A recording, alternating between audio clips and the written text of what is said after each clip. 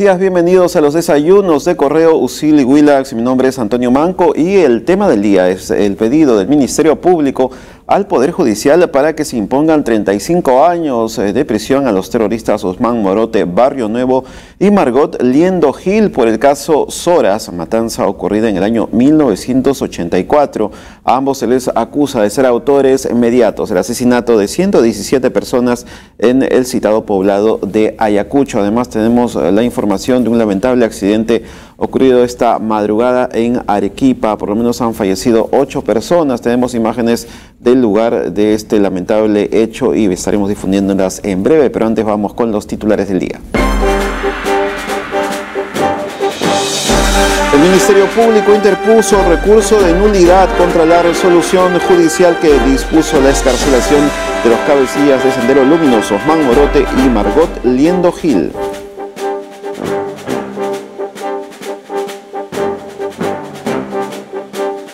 El legislador de Fuerza Popular, Moisés Mamani, entregó a la Fiscalía el reloj con el que grabó a los denominados eh, Kenji Videos que terminaron eh, por tumbar el gobierno de Pedro Pablo Kuczynski y del cargo de presidente de la República. Una mujer que cargaba a su bebé fue atropellada en la avenida Aviación en medio del caos por problemas con el servicio de la línea 1 del metro de Lima. Afortunadamente fue trasladada rápidamente con su menor hija a una clínica local.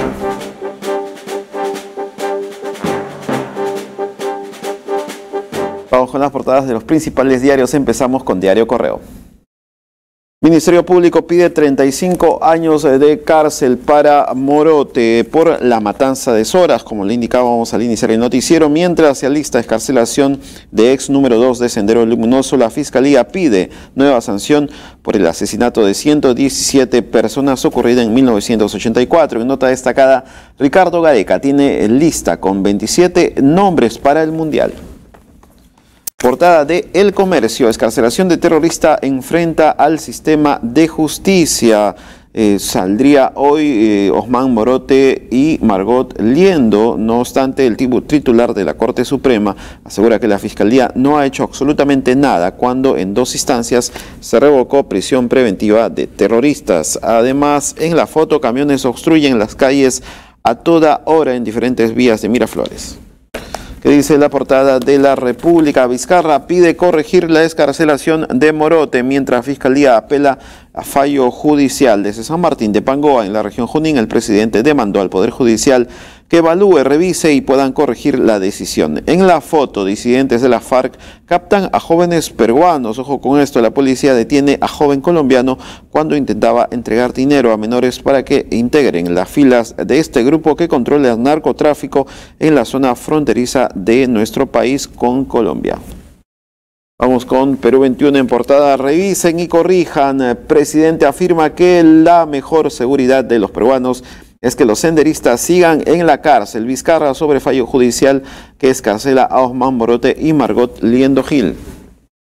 Dice la portada del diario Ojo, Mamani reloj que tumbó a PPK, finalmente congresista, entregó dispositivo a Fiscalía con el que grabó a los eh, denominados parlamentarios Avengers. Es marca San, tiene cámara espía en HD, visión nocturna, 12 marcadores de minutos, 5 perillas y batería intercambiable dice la portada deportiva de El Bocón. ¿Cómo duele? Alianza cayó en casa ante Junior y casi se despide de la Libertadores. La historia se repite y un equipo más no da la talla a nivel internacional. Hinchas terminaron insultando a Ceballos, a Bengochea y a jugadores. En tanto, en nota destacada, Paolo vuelve al gol. Guerrero moja en prácticas de Flamengo e ilusiona a poco de cumplir su sanción. Bueno, y la Fiscalía solicitó al Poder Judicial que se le imponga 35 años de prisión a los terroristas Osman Morote y Margot Liendo por el caso Soras ocurrido el año 1984. A ambos se les acusa de ser los autores mediatos del asesinato de 117 personas en el poblado de Ayacucho. Osman Morote y Margot Liendo todavía esperan salir de prisión para cumplir con arresto domiciliario, la Fiscalía no esperó mucho y solicitó al Poder Judicial que les imponga 35 años de prisión por el caso Soras ocurrido en el año 1984. Correo accedió a la resolución emitida el pasado 23 de marzo en la que se acusa a Morote y Liendo como autores inmediatos del delito de homicidio calificado y crueldad en agravio de 117 personas del poblado de Soras en Ayacucho. De acuerdo a la acusación del representante del Ministerio Público, Morote como integrante de la cúpula de Sendero Luminoso tenía plena participación dentro del comité central de la agrupación terrorista. Además, se le acusó de haber elaborado y aprobado el plan para la eliminación de los pobladores de Soras.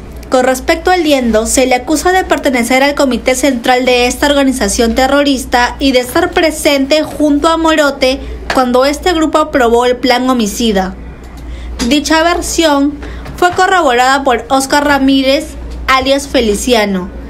Este caso es conocido también como la caravana de la muerte. Dentro de la acusación también fueron comprendidos parte de la cúpula del Sendero Luminoso, como el cabecilla Abimael Guzmán, Elena Baraguirre, Ramírez Durán y Laura Zambrano, acusados como autores inmediatos del homicidio calificado con crueldad. Para ellos, la Fiscalía solicitó 35 años de prisión efectiva. Sobre el tema de la reparación civil, el fiscal superior solicitó que paguen un millón de soles de manera solidaria.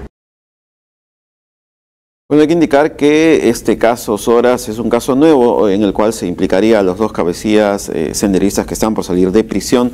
No obstante, sus abogados insisten en que ya han estado 35 años en la cárcel y todos estos años compensan a lo que han eh, supuestamente cometido. No obstante, hay que recordar que en la suma de hechos y de fallecidos, el caso Soras incluye la mayor cantidad de víctimas han sido asesinadas, con lo cual eh, muchos han considerado que merecería cadena perpetua o merecerían cadena perpetua ambos eh, delincuentes terroristas que están por salir de prisión. De otro lado, el Ministerio Público interpuso recurso de nulidad contra la resolución judicial que dispuso la escarcelación de los cabecillas de Sendero Luminoso, Osman Morote y Margot Liendo, procesados por los delitos de terrorismo agravado como autores inmediatos en el atentado de la calle Tarata y por el cobro de cupos y protección a las actividades del narcotráfico en el Alto Guayaga. El recurso fue interpuesto por la Tercera Fiscalía Superior Penal Nacional durante la audiencia del último martes 17 de abril ante el pronunciamiento emitido por los jueces superiores del colegiado A de la Sala Penal Nacional eh, de acuerdo al sustento fiscal. El pago de la caución económica debió realizarse hasta tres días después de la notificación de detención domiciliaria bajo apercibimiento de revocarse la libertad. Además, contiene otros informes eh, de, de inteligencia desfavorables respecto a la medida de arresto domiciliario que no habrían sido evaluados por los jueces superiores. Bueno, y por su parte, el presidente de la República, Martín Vizcarra, mostró su desacuerdo en cuanto a esta decisión judicial eh, sobre la escarcelación de Osman Brote y Margot Liendo. Y el presidente del Poder Judicial, Duberly Rodríguez, reconoció que ya venció el plazo para apelar la resolución de prisión domiciliaria contra estos terroristas de excarcelación por parte del colegiado A de la Sala Penal Nacional hacia los integrantes de Sendero Luminoso, Osman Morote y Margot Liendo, el presidente de la República, Martín Vizcarra, mostró su desacuerdo con la decisión del Poder Judicial. Expresó su preocupación ya que la decisión de esta entidad podría causar desconfianza en la ciudadanía. Obviamente ayer el Premier, el presidente del Consejo de Ministros, ha dado después de la, del Consejo de Ministros diciendo la opinión del Ejecutivo que no estamos de acuerdo.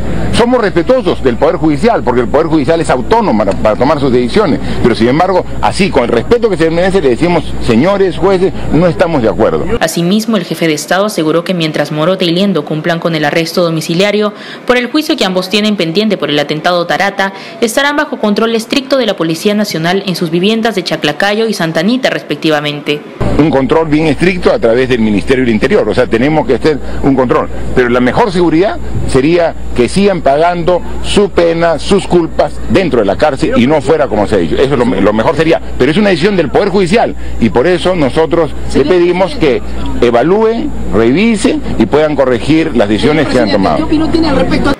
Por otro lado, el presidente del Poder Judicial, Duberly Rodríguez, comentó que ya se venció el plazo para presentar recursos de apelación sobre la resolución que dictó la Sala Penal Nacional hacia los senderistas. Además, el magistrado agregó que esta resolución podría no producirse de forma inmediata. Las reglas ya el Poder Judicial las dijo a través de la resolución que ha emitido la sala de la Sala Penal Nacional. Ahora, en cuanto a la ejecución, pues eso ya es un tema administrativo en la cual yo no tengo ninguna injerencia y habrá que esperar que lo que ocurra. Ya el Poder Judicial dio una resolución, incluso ha dicho que tiene que pagar, creo, una suerte de, caución de 10 mil soles, entonces habrá que ver si pagan 10 mil soles, si no la pagan, no se, no se ejecuta la, la orden. Ahora, sobre el tema domiciliario, es un tema entre el INPE y la policía. Ahí no es un tema de competencia, los jueces no van a ir a verificar el domicilio, los jueces. Cabe recordar que tras la disposición que el colegiado A de la Sala Penal Nacional tomó a Osman Morote y a Margot Liendo, se les impuso cancelar una caución de 10 mil soles en un plazo de cinco días hábiles. Bueno, y el congresista del Frente Amplio, Rogelio Tucto, comparó al expresidente Alberto Fujimori con el líder del grupo terrorista Sendero Luminoso, Abimael Guzmán, y dijo que a su juicio es tan o más terrorista que el cabecilla de Sendero Luminoso. Fujimori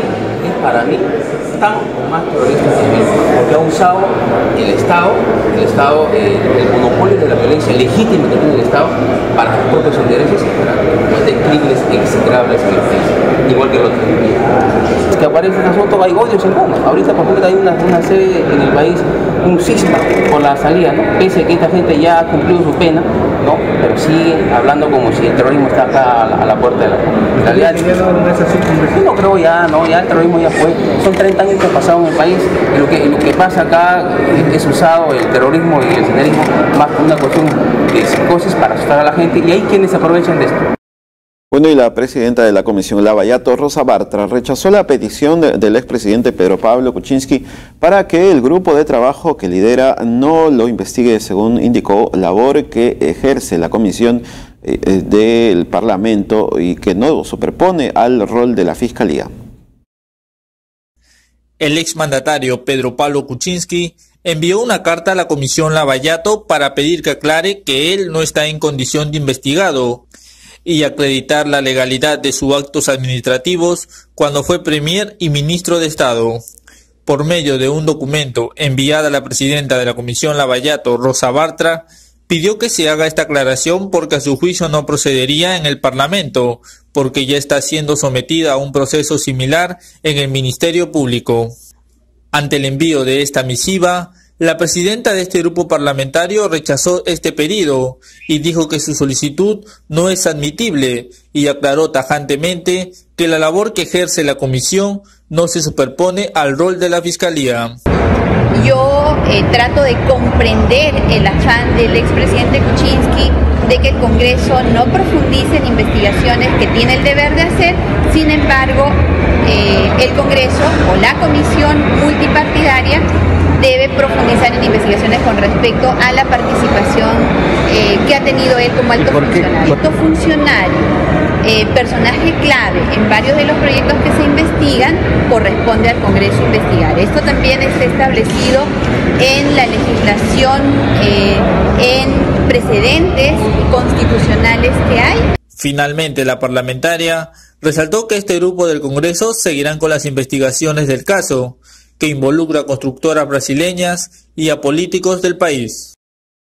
Bueno, y el legislador de Fuerza Popular Moisés Mamani entregó a la Fiscalía el reloj con el que grabó los denominados Kenji videos, los que terminaron por tumbar a Pedro Pablo Kuczynski de la presidencia. El legislador de Fuerza Popular Moisés Mamani entregó a la Fiscalía el reloj con el que grabó los denominados Kenji videos, en donde se revela la presunta compra de votos para salvar la vacancia al entonces presidente Pedro Pablo Kuczynski.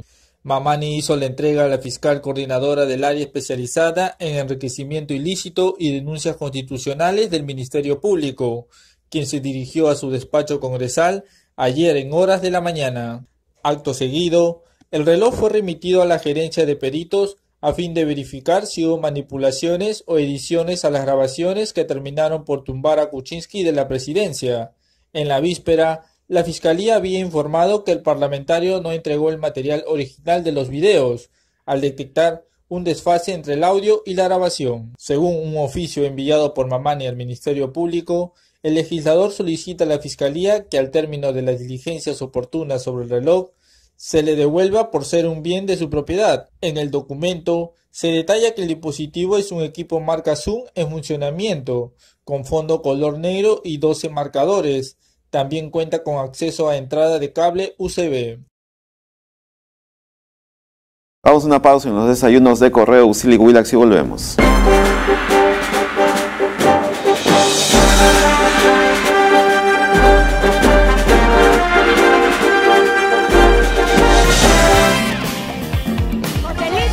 ¿qué te has tomado antes de comenzar el programa que te veo fogoso? Trapitos al aire. Este es otro tipo de Chabelita, pues esta es la muñequita. La otra ya no sabemos qué. De lunes a viernes podrás disfrutar de los mejores invitados, novedades y lo mejor y más sonado del mundo del espectáculo.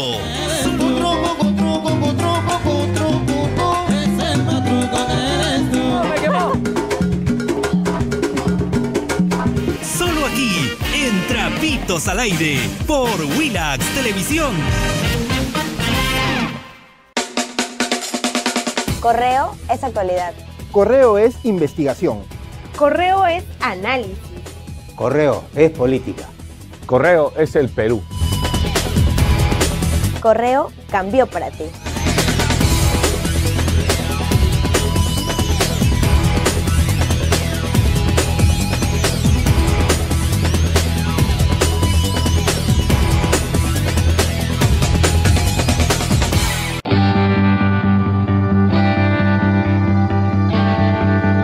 Yo trabajo y estudio al mismo tiempo.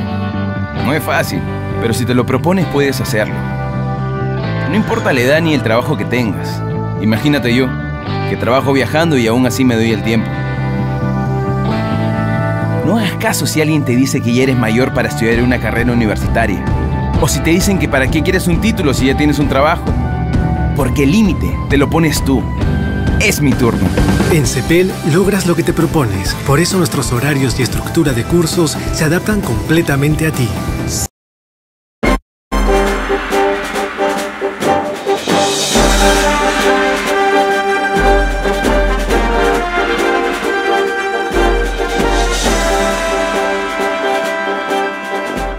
Continuamos en los desayunos de correo Willax y la Fiscalía acusó formalmente a la congresista de Fuerza Popular Betty Gladys Ananculi Gómez por el presunto delito de infracción contra la administración pública en la modalidad de falsedad genérica al haber falsificado documentos que presentó en su hoja de vida.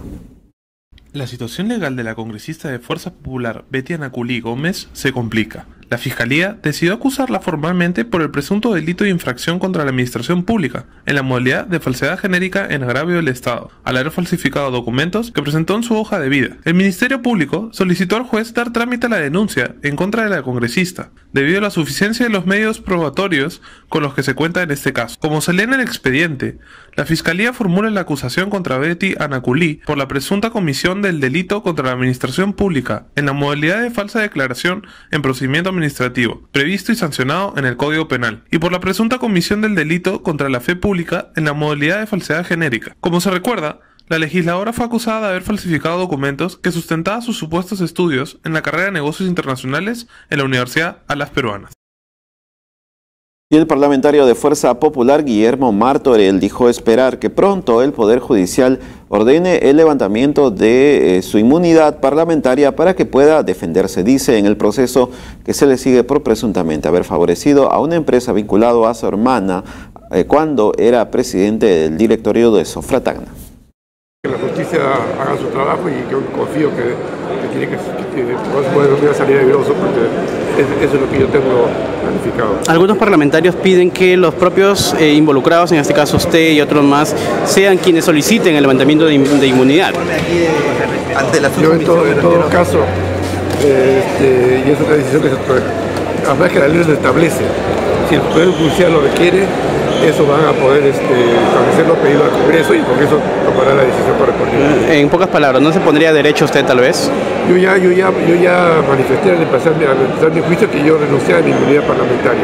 ¿Cuándo lo pidió, por favor? Disculpe. Al, al inicio del proceso el año pasado. Uh -huh. Entonces, en todo caso, ¿qué es lo que está esperando usted? ¿Que el Poder Judicial levante esa inmunidad para de repente se dicte una orden de captura, de ser el caso? No, no yo estoy, por supuesto no estoy esperando eso, porque yo estoy esperando que tengan la, que tengan la oportunidad de, de, de, segunda instancia de explicar mi caso y como repito, yo confío que la justicia será, será, será la, la forma correcta.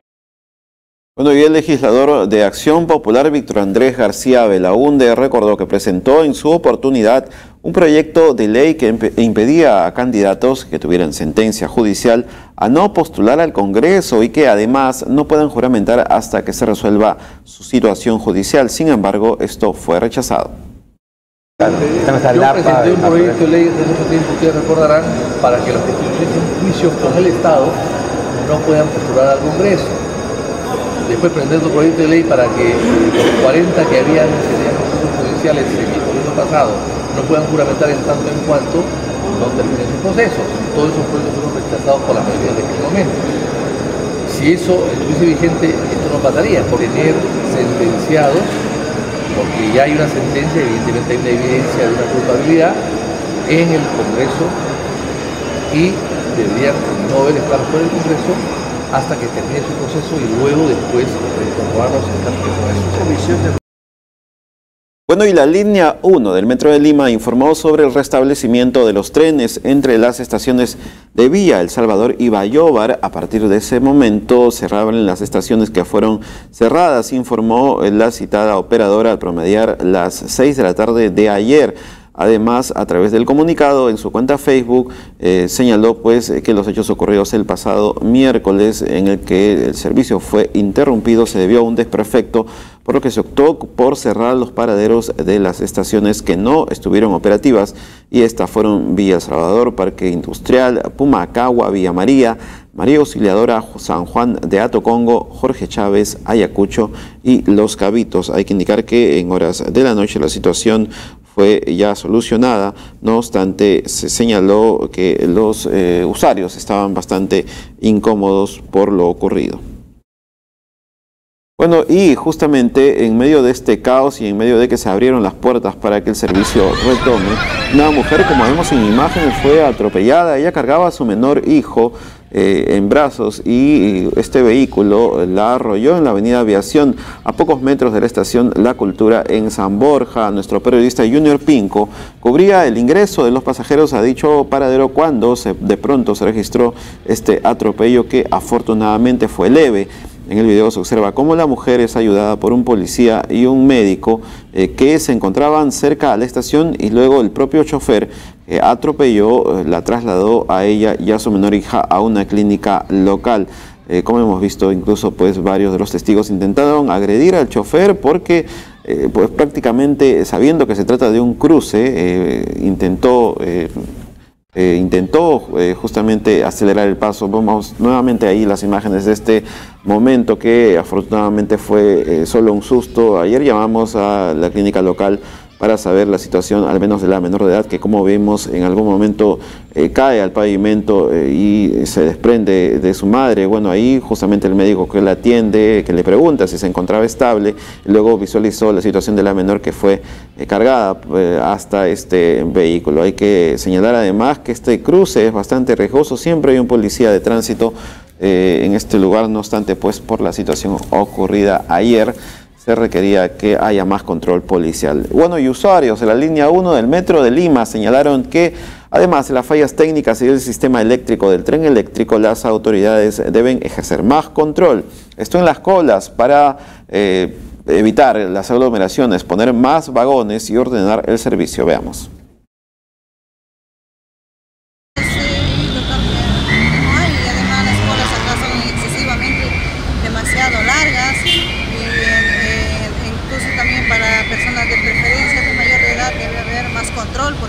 a veces hay que dar la vuelta todavía las cosas.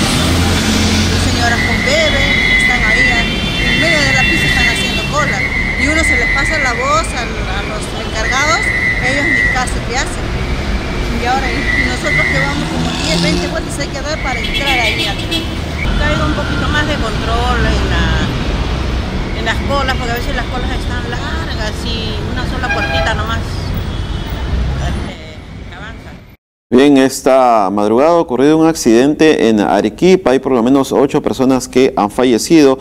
Eh, vamos a ver primero el video de lo que ocurrió justamente con un bus interprovincial que ha caído a un abismo eh, de 20 metros, eh, dejando al menos ocho personas fallecidas. El bus interprovincial de transporte Reina partió de Cotahuasi con dirección a Arequipa, pero poco antes de llegar a Chuquibamba se despistó cobrando la vida de al menos ocho personas en un despacho de un medio. Eh, se ha señalado que entre las víctimas habrían menores de edad y un eh, efectivo de la Policía Nacional. Además, hay 38 heridos. Esas son las tomas captadas esta mañana por un periodista del medio Frase Corta. Hasta el momento se ha informado que las personas heridas han sido evacuadas al establecimiento de salud de Chuquibamba, según la gravedad del caso. Otros son derivados al hospital de Aplao. Eh, hay que señalar. Además que se sabe que entre las personas eh, atendidas en Aplau están Nancy Coragua Zúñiga de 38 años, Lourdes Bustos Gamboa de 32, Elmer Ventura Colque de 42, Magda Barriga Castillo de 32, dos menores de edad de 5 y 1 año, así como Martín Quispe Ancalle de 45 y Narciso Guaguatico Guamán, de 75 años de edad. A esta hora estamos en comunicación con don Héctor Mayhuire, director de Correo Arequipa, eh, para eh, hablar con él sobre este accidente. Don, Héctor, buenos días. Sí, buenos días, buenos días amigos de Seguidores de Correo. Em, aquí este, hemos despertado con esta noticia.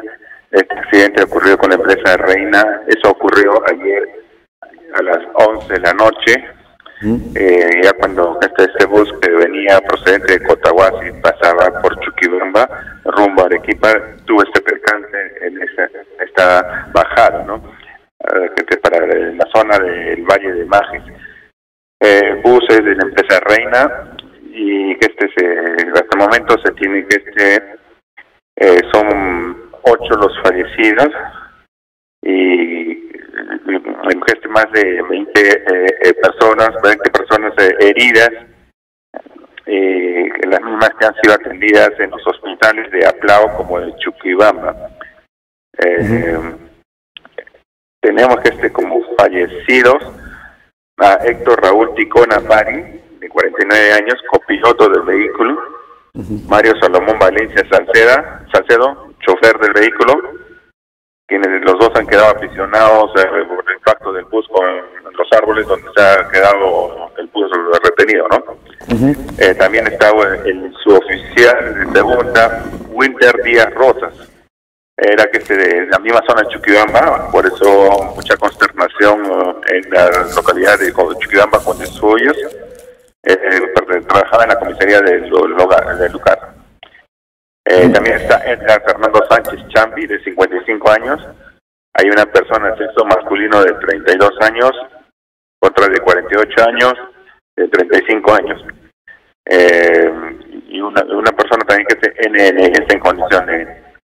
Desde eh, ocurrido el accidente, se activó las la, alarmas de alerta, tanto en los hospitales de Chuquibamba como Aplau, que hay una distancia más o menos de dos horas entre estas dos localidades eh, eh, llegando eh, de manera inmediata cerca a las 2 de la mañana los primeros heridos al hospital central de Aplau, en la provincia de Castilla, Dani Felipe Curagua Zúñiga 38, Lourdes Bustos Gamboa de 32, Edgar Ventura Colqui de 42, Lilian Choquetaipe de Barriga de 5 añitos, Martín, Martín Quispe Ancaña de 45, Narciso Guaguatico Guamán 75, Magda Barriga Castillo de 32 años, Ángeles Choquetaipe Barriga, un bebé de, de un añito, Julio César Ríos Bravo de 41, Walter Ludeña Carrasco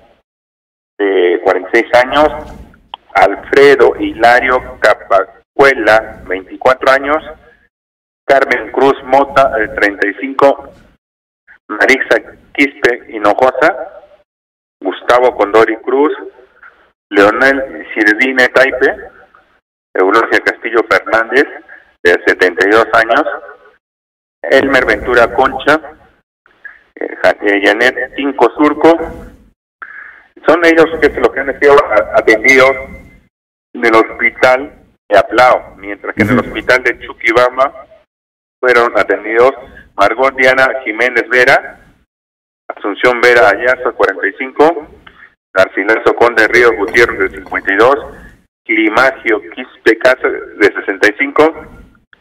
Eh, por lo que se ve, los apellidos son personas este, de la zona, ¿no? Tanto de la provincia de Cotahuasi, la Unión, es la provincia más alejada de la región de Arequipa, como de Chuquibamba. Eh, este vehículo había salido cerca de la una de la tarde de la Unión Cotahuasi rumbo a Chuquibamba, Claro. donde recoge siempre pasajeros para seguir su camino con destino a Arequipa. Eh, es lo que podemos informar en, en estos momentos. Claro, don Héctor, ¿cuál es la situación de la vía y si esta empresa de transportes, eh, bueno, ha protagonizado antes otros accidentes, o si es una vía complicada y si se saben al menos las causas eh, de lo que ha pasado? Bueno, la vía está en buen estado. Lo que pasa es que esta vía es muy, muy peligrosa. Yo, viajé hace un año más o menos por la zona y yo me asusté bastante. Es bastante peligrosa, muchas curvas hasta llegar a la zona del, Valle de Maje, ¿no? que ya es un poco más tranquilo. Pero esta zona de la Unión eh, a, a Chuquibamba es una de las que tiene mayores accidentes, no tiene más accidentes geográficos y es bien bastante peligrosa. Según declaraciones de la subprefecta de, de la provincia de Castilla-Plau, eh, señalaba que, de acuerdo a lo recogido por una versión de un pasajero, eh, habían dos, dos buses de la misma empresa, Reina, que venían correteándose para ganar pasajeros, porque llegan a Chuquibamba a recoger de gente, la última gente que baja a Arequipa, entonces eh, están este, más de lo debido con la velocidad para esas dos curvas peligrosas. Es las primeras declaraciones que se han tenido de la subprefecta, pero más allá de esto lo debe determinar la policía. La, policía, que se la vía es bastante segura, si se va que con la velocidad del caso, eh, está asfaltada, y obviamente que este, me parece que ha habido un un error humano en este accidente. Eso lo determinará la policía en su debido momento. Ok, don Héctor, muchas gracias por la información actualizada desde Arequipa. Era Héctor Maigure, director de Diario Correo en enlace telefónico. Usted puede encontrar esta información ya en diariocorreo.p, así como el video que acaba de ver en esta emisión. Bueno, y vamos a una pausa en los desayunos de correo Silly Willax y volvemos.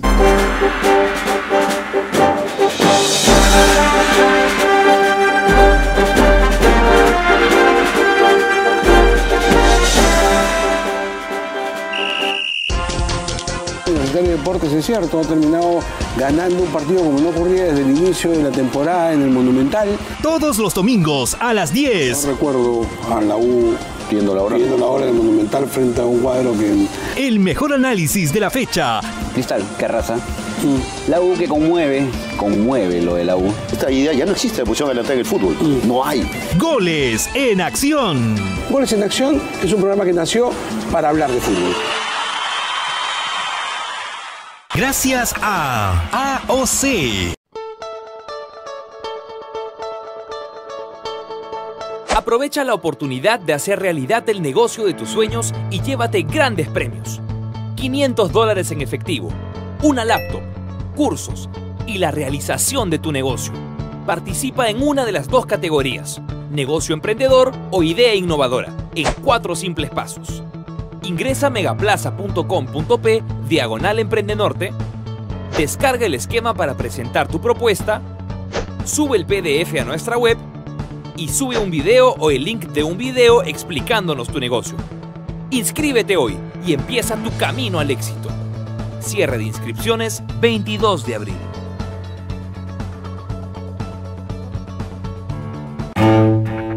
Lo que no quiero. No quiero vivir en una oficina. No quiero corbatas toda mi vida. No quiero un jefe para siempre. No quiero que las fronteras me detengan. Solo no quiero. No quiero dejar de cuidarme. No quiero dejar de hacer cosas. No quiero dejarme ir ni dejarme estar. Y algunas reglas que no sé quién las inventó, no las quiero seguir. Así como sé lo que no quiero, sé lo que quiero. Y sé también cómo conseguirlo. En USIL te ayudamos a lograr lo que te propongas. Por eso tenemos más de 255 alianzas internacionales, formación bilingüe y en gestión empresarial.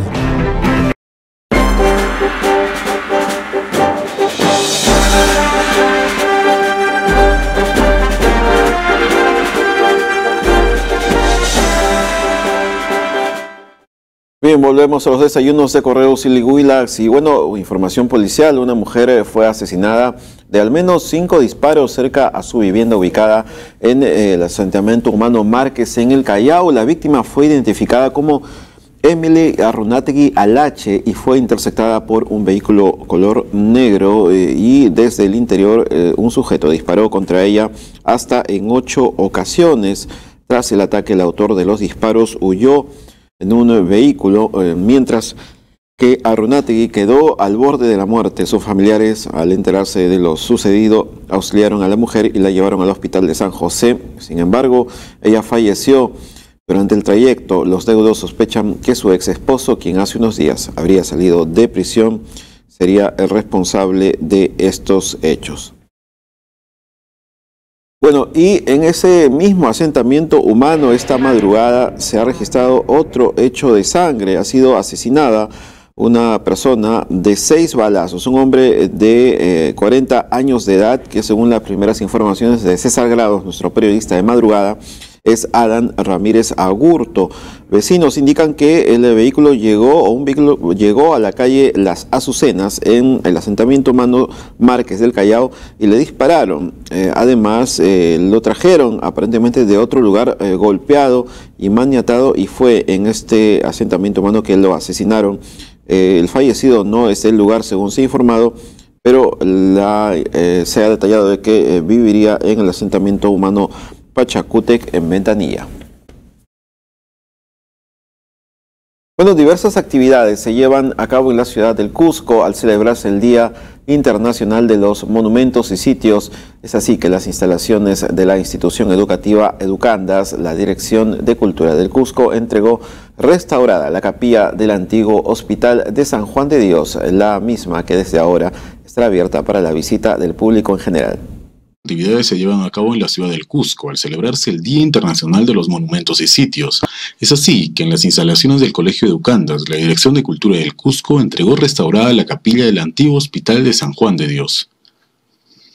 Al momento de la entrega de dicha obra, Vidal Pino, titular de Cultura Cusco, hizo un llamado a locales y turistas a luchar por la preservación del importante legado que dejaron nuestros antepasados en la región. Si ahora los jóvenes lo hacen, ponen la fuerza, esa energía, nuestro patrimonio, tanto material como inmaterial, está absolutamente garantizado. Hay todo un equipo, el año pasado se han hecho casi 40 proyectos de emergencia para evitar los daños a nivel de las lluvias. Sobre los malos turistas que llegan hasta Cusco y son detenidos por cometer delitos contra el patrimonio, refirió que son cerca de 1.300.000 los visitantes que llegan hasta esta ciudad, de los cuales unos cuantos mantienen actitudes negativas y que por ellos no se debe satanizar la actividad turística, más bien buscar un equilibrio coherente entre esa empresa y el patrimonio.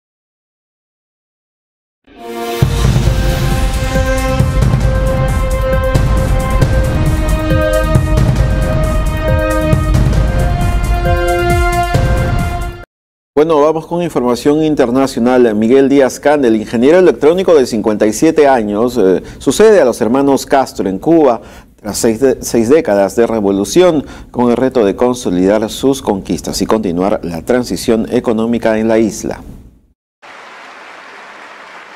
Miguel Díaz Canel, el nuevo presidente de Cuba, es un ingeniero electrónico de 57 años.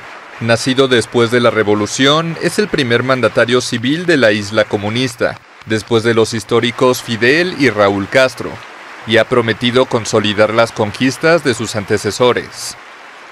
Seremos fieles al ejemplar legado del comandante en jefe Fidel Castro Ruz, líder histórico de nuestra revolución, y también al ejemplo, el valor y las enseñanzas del general de ejército Raúl Castro Ruz, líder actual del proceso revolucionario. Criado en Santa Clara, al este de La Habana, Díaz Canel fue profesor universitario a inicios de su carrera. En 1994 fue primer secretario del gobernante Partido Comunista de Cuba de la provincia de Villa Clara. Es un dirigente de pueblo, dirigente de, de masa, de pueblo, cuando le estuvo, dirigió el partido aquí, fue sensacional eso, porque él ni tenía hora y estaba en todos los lugares. Díaz Canel ocupó varios cargos dentro del gobierno cubano hasta ser primer vicepresidente en 2013. Proyectó una imagen moderna abogando por una mayor apertura a Internet y una prensa más crítica. Como mandatario será jefe de los institutos armados, una tarea complicada para un hombre que a diferencia de sus predecesores tiene poca experiencia militar. Su principal desafío será consolidar las conquistas de la revolución y continuar la transición económica iniciada por Raúl Castro. Bueno, y varios miles de estudiantes universitarios y secundarios chilenos eh, dieron inicio a la primera manifestación contra las políticas educativas del gobierno conservador que encabeza Sebastián Piñera bajo una fuerte vigilancia policial. Miles de estudiantes chilenos salieron a las calles para protestar contra las políticas educativas del gobierno de Sebastián Piñera. Los miles de estudiantes se congregaron en la céntrica Plaza Italia para dar inicio al recorrido entre carnavalescas murgas de danzantes, músicos y batucadas que animaron la extensa caminata de unos cuatro kilómetros por la avenida Bernardo O'Higgins. La caravana demandó entre gritos y pancartas al Ejecutivo el fin al lucro en el sistema educativo, al endeudamiento estudiantil y a la educación sexista bajo la consigna Chile ya decidió, impulsada por organizaciones universitarias, escolares y el Colegio de Profesores. La manifestación se extendió por más de tres horas en la capital y se replicó con amplia asistencia en Valparaíso, Concepción, Temuco y otras ciudades regionales, donde estudiantes apoderados y maestros se adhirieron a la convocatoria. La marcha iba con total tranquilidad hasta que efectivos de seguridad se enfrentaron con los protestantes, en donde muchos terminaron detenidos y otros heridos. El uso de las tanquetas con agua y gases dispersaron a los estudiantes, pero esto no detuvo la marcha. Bueno, y Colombia prometió que seguirá trabajando estrechamente con Ecuador tras su decisión de suspender su papel como garante en el proceso de paz eh, con el Ejército de Liberación Nacional ELN, mientras busca una nueva sede para esos diálogos. Ahora más que nunca están trabajando juntos, las operaciones que han hecho han sido operaciones coordinadas eh, y nosotros eh, hemos dicho y lo reiteramos ayer, queremos ayudarle y seguir colaborándole a Ecuador a fortalecer eh, sus, sus, capacidades, sus fuerzas militares. Desafortunadamente, pues Colombia con la vida y el conflicto que hemos tenido, pues tenemos unas fuerzas militares eh, con una mucha mayor experiencia y muchas mayores capacidades y eso es lo que estamos ayudando al Ecuador, lo seguiremos haciendo, estamos trabajando juntos, tenemos el despliegue más grande que, que tiene, que tiene el país eh, desde hacía mucho, mucho tiempo en la frontera precisamente y esperamos dar resultados y acabar con las estructuras que están generando esta violencia en la frontera. Bueno, y multitudinarias marchas se realizaron en Ecuador por la paz y en honor de los tres integrantes de un equipo de prensa eh, asesinado, nos, referimos a los periodistas del diario El Comercio, además eh, cuatro soldados muertos en atentados y una pareja secuestrada en la zona fronteriza con Colombia.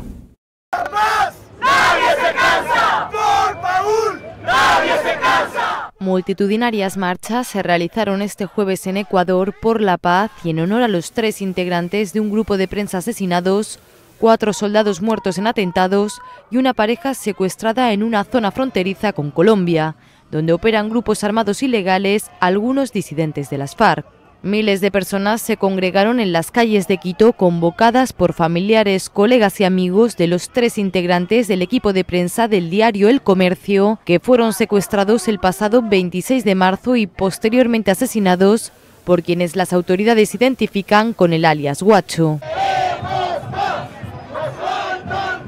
La manifestación recorrió varias calles del centro de Quito. Bajo consignas Nos faltan tres, Queremos la paz, Nadie se cansa por la paz, no a la impunidad y ni uno más.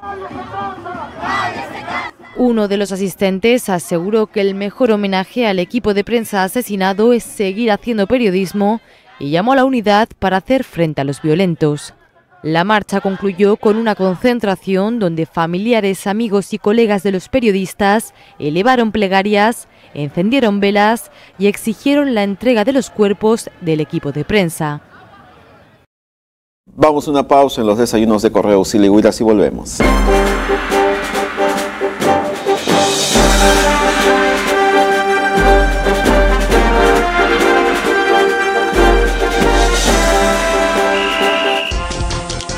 De Deportes es cierto, ha terminado ganando un partido como no ocurría desde el inicio de la temporada en el Monumental. Todos los domingos a las 10. No recuerdo a la U Viendo la hora. viendo la hora del Frente a un cuadro que El mejor análisis de la fecha. Cristal, qué raza. La U que conmueve, conmueve lo de la U. Esta idea ya no existe la posición adelantada en el fútbol. No hay. Goles en acción. Goles en Acción es un programa que nació para hablar de fútbol. Gracias a AOC. Aprovecha la oportunidad de hacer realidad el negocio de tus sueños y llévate grandes premios. 500 dólares en efectivo, una laptop, cursos y la realización de tu negocio. Participa en una de las dos categorías, negocio emprendedor o idea innovadora, en cuatro simples pasos. Ingresa a megaplaza.com.p diagonal emprendenorte, descarga el esquema para presentar tu propuesta, sube el PDF a nuestra web y sube un video o el link de un video explicándonos tu negocio. Inscríbete hoy y empieza tu camino al éxito. Cierre de inscripciones 22 de abril.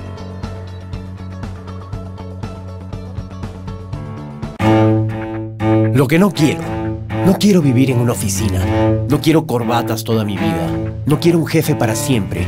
No quiero que las fronteras me detengan. Solo no quiero. No quiero dejar de cuidarme. No quiero dejar de hacer cosas. No quiero dejarme ir ni dejarme estar. Y algunas reglas que no sé quién las inventó, no las quiero seguir. Así como sé lo que no quiero, sé lo que quiero. Y sé también cómo conseguirlo. En USIL te ayudamos a lograr lo que te propongas. Por eso tenemos más de 255 alianzas internacionales, formación bilingüe y en gestión empresarial. Trasládate a USIL. Inscripciones abiertas en usil.edu.pe.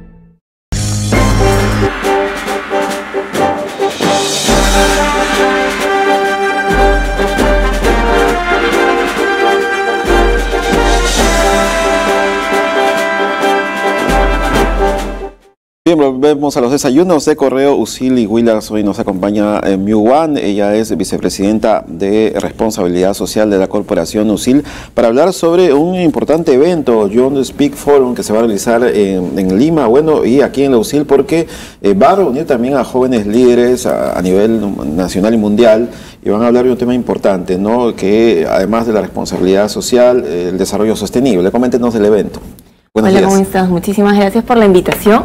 Justamente, como te iba comentando, nosotros el día de mañana estamos organizando el Just Speak Forum, que es un evento internacional que se da alrededor del mundo en distintas ciudades eh, anualmente. Entonces este año eh, la sede es en Lima, Perú, en la Universidad San Ignacio de Loyola, que congrega más de 800 jóvenes que vienen de 10 regiones del país, ¿no? Entre de ellos están inscritos chicos que vienen desde Piura, Trujillo, Ica, Huancayo, Arequipa, distintas ciudades que vienen a conversar sobre la Agenda 30 y cómo, cuál es el rol de los jóvenes en esta agenda, cómo es que ellos como jóvenes pueden participar y pueden ser no solamente, digamos, eh, participantes, sino también pueden ser actores y protagonistas de ese cambio que se quiere generar a nivel mundial, ¿no? Esta Agenda 2030 que congrega a más de 193 países que firmaron este acuerdo en septiembre del 2015. Y uno de esos países es Perú, que se ha congregado a esta agenda tan importante que busca erradicar, por ejemplo, la pobreza extrema hacia el 2030, entre otros objetivos más. Pero justamente sobre eso, ¿no? Perú eh, es uno de los países todavía con alto índice de pobreza. eh, seguro por eso también esto va a ser importante. Y el tema también de, de- la, de cuidar el planeta, ¿no? Tenemos en Madre de Dios un eh, sistema de minería ilegal que, que, eh, en todo el mundo también ya es reconocido como un serio problema, ¿no? Eh, ¿Qué se va a proponer aquí? ¿Va a haber soluciones o formas de, de que esto tenga un efecto eh, en la sociedad? Bueno, en realidad sí, porque aparte de inspirar a los jóvenes, van a tener ellos charlas magistrales desde muy temprano donde contamos con representantes de la ONU, del Ministerio del Ambiente, expertos en el tema, por ejemplo, de consumo responsable, el tema de nutrición, que es uno de los temas más fuertes que aqueja también en el país. Eh, tenemos expertos que va a venir, por ejemplo, la señora Luciana de la Fuente, que nos va a hablar del consumo responsable. De la ONU vamos a tener jóvenes líderes, que son speakers a nivel global, como Teresa Gullón, que construyó la ONG Un Millón de Niños Lectores, y así otras organizaciones más, que van a buscar inspirar a nuestros jóvenes. Luego de eso vamos a tener una serie de talleres donde los jóvenes van a poder poner en práctica lo que ellos han estado aprendiendo. Vamos a tener más de 20 talleres en simultáneo que vienen empresas como Bacus, eh, Cálida, vienen eh, Telefónica, vienen distintas eh, organizaciones como Perú 2021, ONGs que van a realizar estos talleres en simultáneo. Los jóvenes van a estar trabajando los 17 objetivos que tienen desde temas de cambio climático, fin de la pobreza, hambre cero, eh, cuidado del agua, distintas, eh, van a trabajar los 17 objetivos y luego van a ir a campo, es decir, van a salir a cinco distintos puntos desde colegios y organizaciones para replicar esta lección. Y esta lección se llama The World Largest Lesson, la lección más grande del mundo, es un proyecto de UNICEF y proyecto... Eh, es un proyecto de UNICEF donde los chicos replican todo eso y, digamos, se hace más conocido. ¿no? y eh, finalmente los jóvenes eh, rescatan esas experiencias y lo pueden, digamos, luego aplicar en sus proyectos. Claro, ah, lo importante es que también los jóvenes eh, que van a estar seguros acá van a ser los líderes del futuro, de aquí a algunos años y el hecho de que tengan la conciencia justamente del desarrollo sostenible y otros va a permitir que a futuro tengamos un efecto, un ambiente diferente al actual, ¿no? Así es. Pues tienes toda la razón. Eh, en realidad, eso es alguna de las cosas que buscamos nosotros dentro de la Universidad San Ignacio Loyola, dentro de todo el corporativo, ¿no? Y por eso es que tenemos dentro unos uno de nuestros pilares institucionales, la responsabilidad social. ¿Por qué? Porque nosotros como institución educativa, como muy bien dice, estamos formando a los futuros líderes del país. No solamente gente que va a trabajar en empresas, sino que también va a emprender su propio negocio.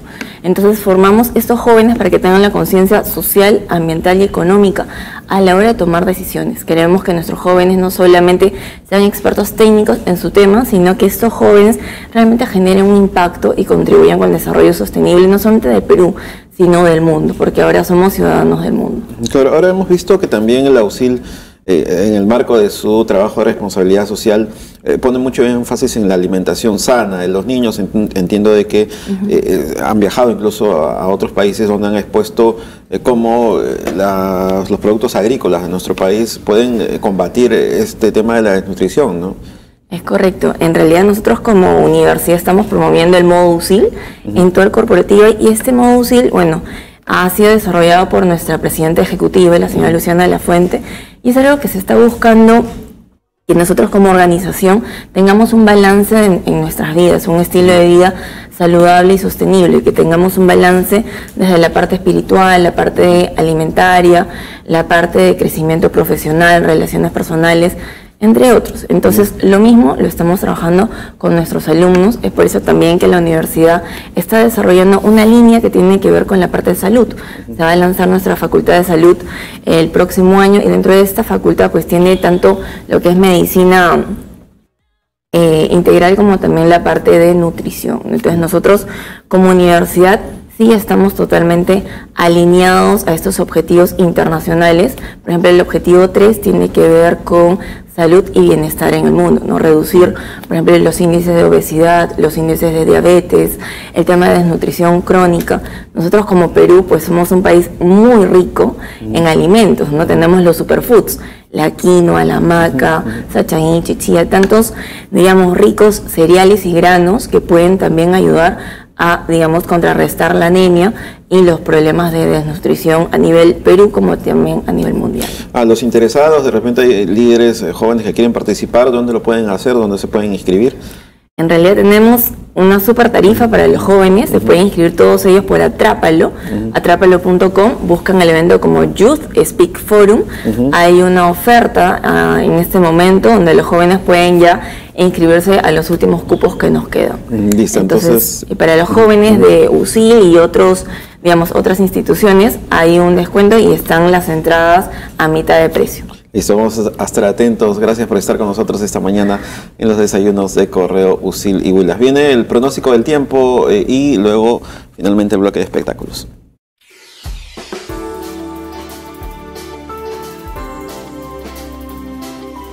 Hola, soy Camila Villegas y este es el pronóstico del tiempo. El CENAMI informa que este 20 de abril el departamento de Loreto presentará lluvias fuertes con vientos de moderada intensidad. Asimismo, la capital presentará cielo nublado variando a cielo despejado durante la mañana y cielo nublado al atardecer. A continuación, los dejo con las temperaturas de las principales ciudades de nuestro país.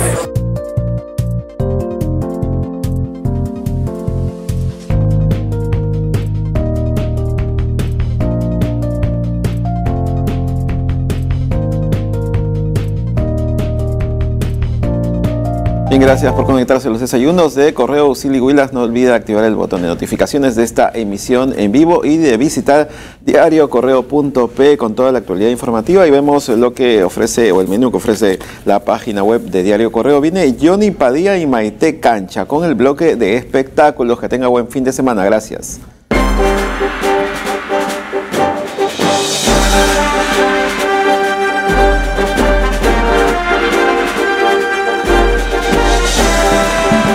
Eso es un 20, mírenlo todos. Tiempo y esfuerzo, no somos todos. Ya voy varios años en el tercio superior, estudiando, practicando, ando, sudando. Dicen que es fácil, pero no saben. Aquí todo cuesta, y que se lo graben. Estudiando, sacrificando, voy logrando. ¿Y tú? Mirando y solo hablando. Así cualquiera, dices tú. Así cualquiera. Así cualquiera, si a mis amigos poco viera. Si juego menos con mi gente, así cualquiera. Si estudio fines de semana, así cualquiera. ¿Así cualquiera, pregunto yo? Si así cualquiera, entonces, ¿por qué no lo haces tú? Lo que no quiero. No quiero vivir en una oficina. No quiero corbatas toda mi vida. No quiero un jefe para siempre. No quiero que las fronteras me detengan. Solo no quiero. No quiero dejar de cuidarme. No quiero dejar de hacer cosas. No quiero dejarme ir ni dejarme estar. Y algunas reglas que no sé quién las inventó, no las quiero seguir.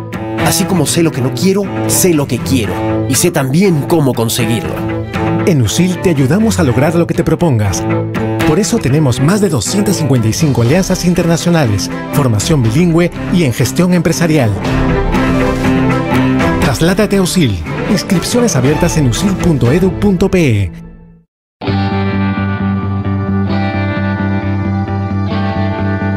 Yo trabajo y estudio al mismo tiempo. No es fácil, pero si te lo propones puedes hacerlo. No importa la edad ni el trabajo que tengas. Imagínate yo, que trabajo viajando y aún así me doy el tiempo. No hagas caso si alguien te dice que ya eres mayor para estudiar una carrera universitaria. O si te dicen que para qué quieres un título si ya tienes un trabajo. Porque el límite te lo pones tú. Es mi turno. En CEPEL logras lo que te propones. Por eso nuestros horarios y estructura de cursos se adaptan completamente a ti. CEPEL. Es duro. Yo debo estar viviendo a una hora y media del instituto. Y es en el curso de estadística donde las cosas se complican. Ya me ha pasado un par de veces que los imprevistos me han jugado una mala pasada y mis tardanzas cuentan como inasistencias. Estoy en el límite y no me volverá a pasar. ¿Qué hora es en este momento? 6 y 15 am. Mi actitud puede más. ¿Y cómo eras para no quedarte dormida? Con este clima será más fácil. Ya quité las cortinas. ¿Sale el sol? Salgo yo. Instituto de Emprendedores UCIL, un instituto con exigencia universitaria. Inscripciones abiertas. Sede Lima Norte, sede Magdalena. Buena Nación se va a Estados Unidos. Del 19 al 23 de marzo, el programa desde Miami, en toda la previa al partido de la selección peruana contra Croacia. Y el 26 y 27 desde New Jersey, en la previa al partido contra Islandia. Willax en acción al lado de la selección peruana de fútbol. Eso es un 20, mírenlo todos. Tiempo y esfuerzo, no somos todos. Ya voy varios años en el tercio superior, estudiando, practicando, ando, sudando. Dicen que es fácil, pero no saben. Aquí todo cuesta, y que se lo graben. Estudiando, sacrificando, voy logrando. ¿Y tú? Mirando y solo hablando. Así cualquiera, dices tú. Así cualquiera. Así cualquiera, si a mis amigos poco viera. Si juego menos con mi gente, así cualquiera. Si estudio fines de semana, así cualquiera. ¿Así cualquiera, pregunto yo? Si así cualquiera, entonces, ¿por qué no lo haces tú? Lo que no quiero. No quiero vivir en una oficina. No quiero corbatas toda mi vida. No quiero un jefe para siempre. No quiero que las fronteras me detengan. Solo no quiero. No quiero dejar de cuidarme. No quiero dejar de hacer cosas. No quiero dejarme ir ni dejarme estar. Y algunas reglas que no sé quién las inventó, no las quiero seguir. Así como sé lo que no quiero, sé lo que quiero. Y sé también cómo conseguirlo. En USIL te ayudamos a lograr lo que te propongas. Por eso tenemos más de 255 alianzas internacionales, formación bilingüe y en gestión empresarial. Trasládate a USIL. Inscripciones abiertas en usil.edu.pe.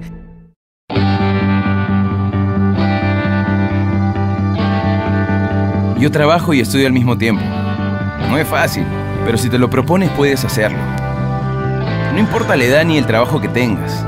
Imagínate yo, que trabajo viajando y aún así me doy el tiempo. No hagas caso si alguien te dice que ya eres mayor para estudiar una carrera universitaria. O si te dicen que para qué quieres un título si ya tienes un trabajo. Porque el límite te lo pones tú. Es mi turno. En CEPEL logras lo que te propones. Por eso nuestros horarios y estructura de cursos se adaptan completamente a ti. CEPEL. Es duro. Yo debo estar viviendo a una hora y media del instituto. Y es en el curso de estadística donde las cosas se complican. Ya me ha pasado un par de veces que los imprevistos me han jugado una mala pasada y mis tardanzas cuentan como inasistencias.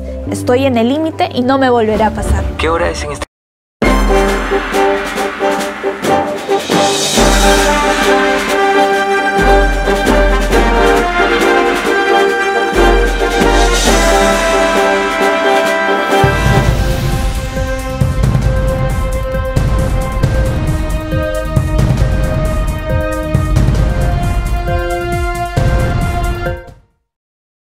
Espectáculos aquí en los desayunos de Correo Usil y Willax y tenemos a Alex Ferreira con nosotros. En unos minutitos vamos a conversar con él, pero antes Maite Cancha nos trae lo último del espectáculo local e internacional. Maite, buenos días. Buenos días, Johnny, ¿qué tal? Hoy cerramos el fin de semana, bueno, la semana más bien, con lo mejor de los espectáculos nacionales e internacionales. Estamos aquí con buena actitud, vemos a Mayra de un lado a otro, ha venido más recargada que nunca. Javier está un poquito decaído. ¿Qué pasó, Javier? Tienes que tener una linda semana y es viernes. Ya es viernes, no está molesto. Esas cositas, por favor, detrás de cámaras. Bueno, hoy vamos a hablar sobre el caso de Gisela Valcárcel. Hace unos días apareció en un video promocional del conocido canal eh, donde ella pertenece y la mayoría empezó a, creer que la ceñito regresaba recargada en el gran show. Sin embargo, a través de las redes sociales, la conductora de televisión indicó que regresa a la pantalla chica con el nuevo formato llamado El Artista del Año. Saldrá este el 28 de abril a las 9 de la noche y menciona que es un programa en el cual le tiene muchas ganas, ilusión y el corazón que se le va a salir por la emoción. Revela que es un formato totalmente distinto al gran show, pero las características es algo parecida, porque habrá 10 invitados que competirán en disciplina de canto, baile y caracterización. Javier, este es tu momento para caracterizar en el programa de Gisela. Por la herida es linda, te digo, ¿ah? si es que participas. Bueno, así que ya saben, amigos, entonces Gisela volverá eh, más recargada en las pantallas. Y ahora hablaremos sobre el caso de Pato Quiñones, quien ha sido también noticia, tendencia en los últimos días, tras salir también ante cámaras y afirmar su ruptura sentimental con Milet Figueroa, el bailarín y ex figura del Gran Show mencionó que Milet había terminado con él en Viernes Santo y tras las preguntas de los conductores del espacio, él rompió en llanto, empezaba a decir que se sentía muy mal y que el amor acabó entre ellos. Por ahí empezaron a criticarlo en las redes sociales, indicando que era un llorón, que le gustaban mucho las cámaras, él salió a defenderse, a decir que es una persona muy sensible y quienes también han salido a defenderlo es Jaco Eskenazi y Natalie Bertis. La pareja eh, conformada bueno, por el conductor y la modelo indicaron que le dio mucha pena verlo conmovido, triste porque es chivolo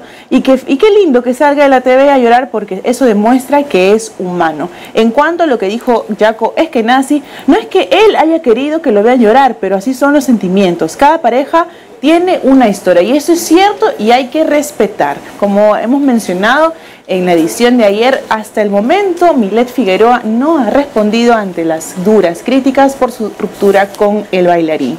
Ahora pasamos rápidamente al caso de Rodrigo González Peluchín.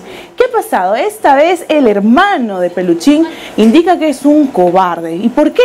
Según menciona, Rodrigo González está aprovechando salir ante cámaras para hablar sobre eh, actualmente la denuncia que enfrenta con su hermano Carlos Martín González Lupis, quien a través de una entrevista que tuvo con la periodista Mónica Cabrejo señaló que es una persona cobarde al hablar sobre la disputa legal por la herencia de su fallecido padre. Textualmente dijo lo siguiente, sí creo, si creo que Rodrigo es un cobarde, sí es un cobarde, Claro que lo es, saca ventaja de una persona porque es cobarde. Él habla 10 minutos respondiendo una carta notarial que yo mandé. Jamás mostró el documento, dijo de todo, habló hasta de mis hijos cuando él es padrino del mayor y ni siquiera se acuerda de nadie. Para Rodrigo, primero es él, segundo es él y tercero es él. Nuevamente el hermano de Rodrigo González dejándolo mal parado ante cámaras. ¿Qué responderá Rodrigo González? De repente el día de hoy dice algo, empieza a responderle a su hermano, porque recordemos que desde hace años ambos están eh, peleados, están distanciados por la disputa legal de su fallecido padre. Y ahora sí, pasamos a los temas internacionales. Hoy es viernes y vamos a comentar acerca de la bellísima cantante Ariana Grande, quien se mantuvo fuera del foco de la atención después del ataque terrorista durante su concierto en Manchester. Pero ella acaba de romper el silencio en las redes sociales al anunciar lo siguiente. Veamos.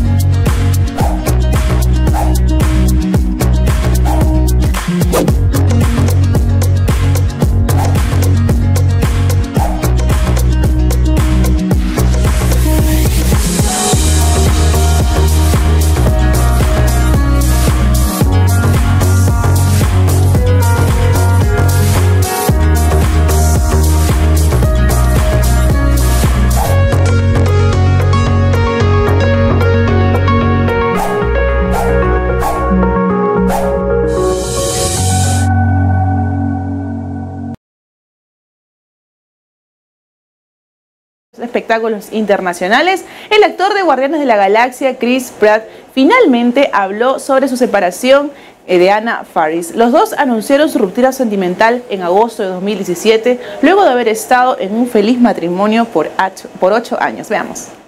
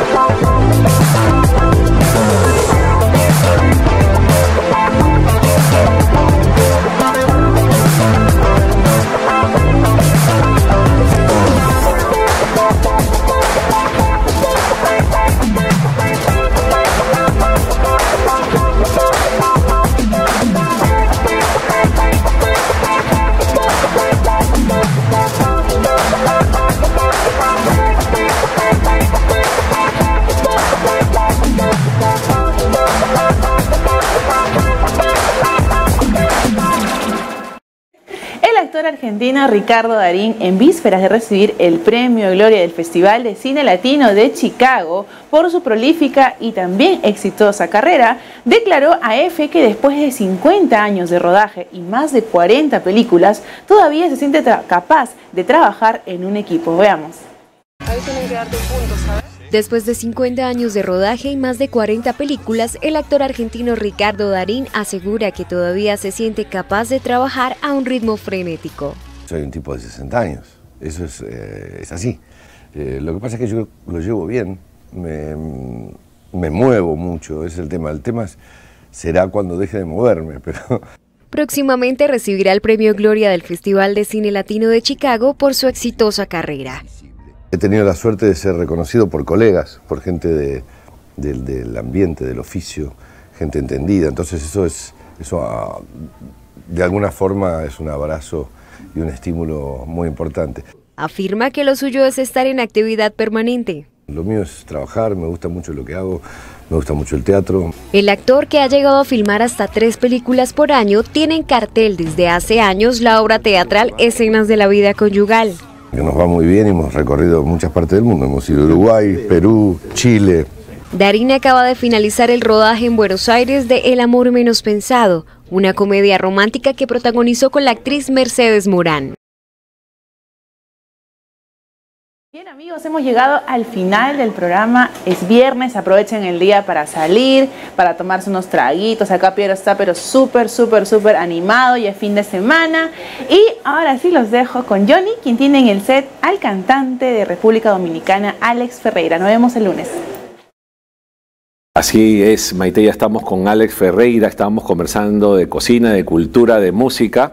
Porque hoy, hoy él se presenta en, en Dédalo, ofrece su primer eh, concierto aquí en el Perú, su música ya se está escuchando, especialmente este tema Ven que te quiero ver, que yo lo he escuchado bastante, que me gusta. Ah, muy bien. Y, y- y me suena también a, a mucha gente, cantautores que, que me gustan. Algo de Drexler, por ejemplo, me parece que tiene algo. Por supuesto. Porque tú admiras a Drexler. Lo admiro muchísimo, es un, es un eh, referente sin duda. Eh, esa canción también tiene el ritmo del pambiche, que es un ritmo dominicano. Eh, por ahí hay partes que me acuerdan a, a Juan Luis también. Sí, claro.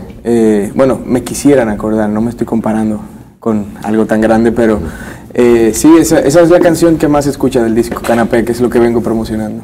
Y ese, eh, ese disco, eh, Canapé, el nombre, el nombre suena a estos bocaditos que nosotros en las reuniones comemos y que tienen distintos ingredientes. Pues un canapé jamón, un canapé eh, ¿no? de repollo, no Eso sé, es. de espárragos.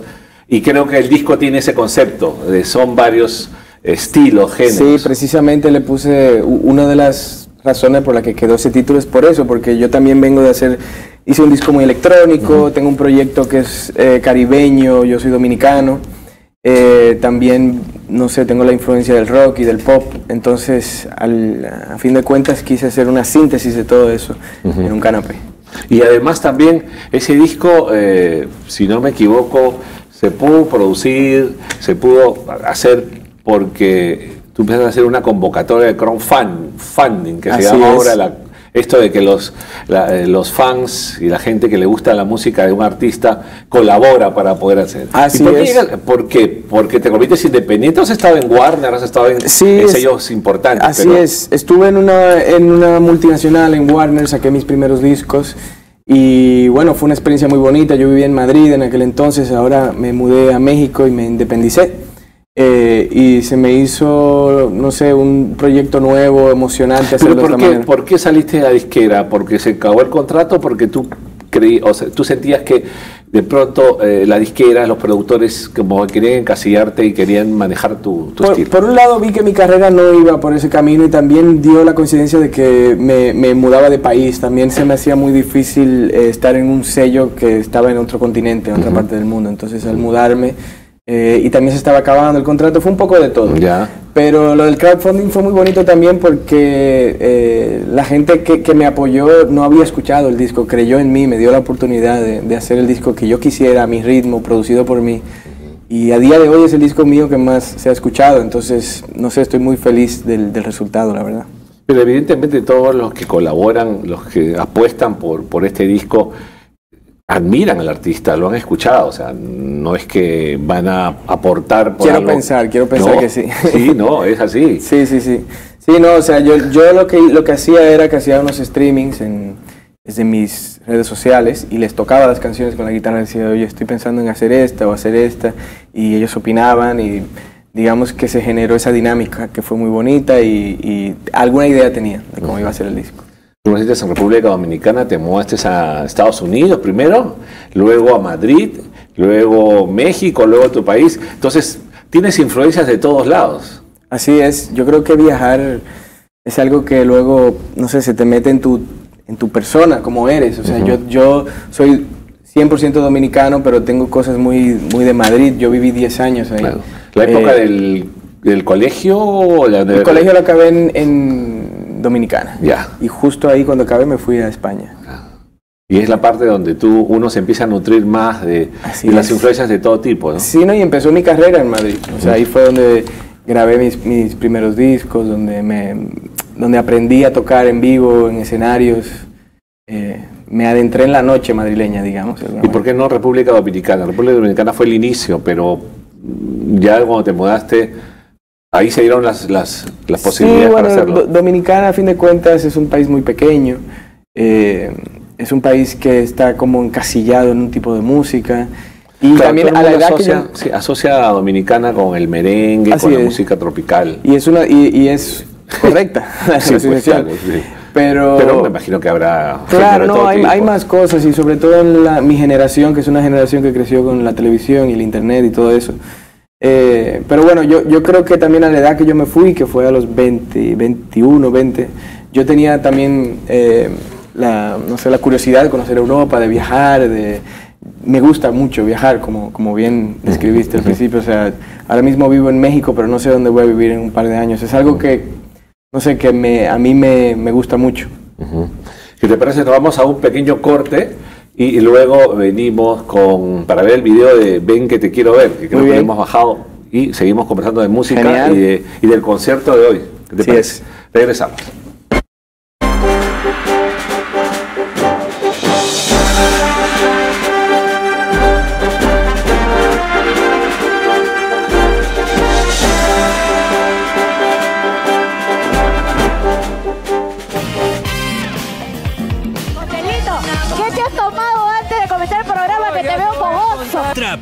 Al aire. Este es otro tipo de Chabelita, pues esta es Chabelita la muñequita. La otra ya no sabemos qué. De lunes a viernes podrás disfrutar de los mejores invitados, novedades y lo mejor y más sonado del mundo del espectáculo.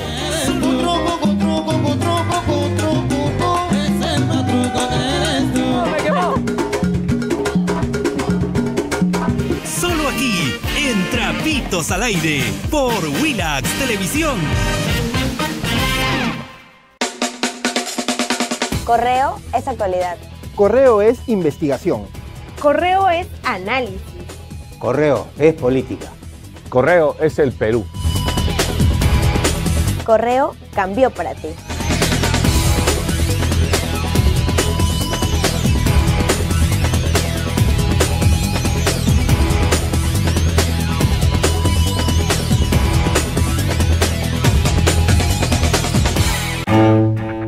Lo que no quiero.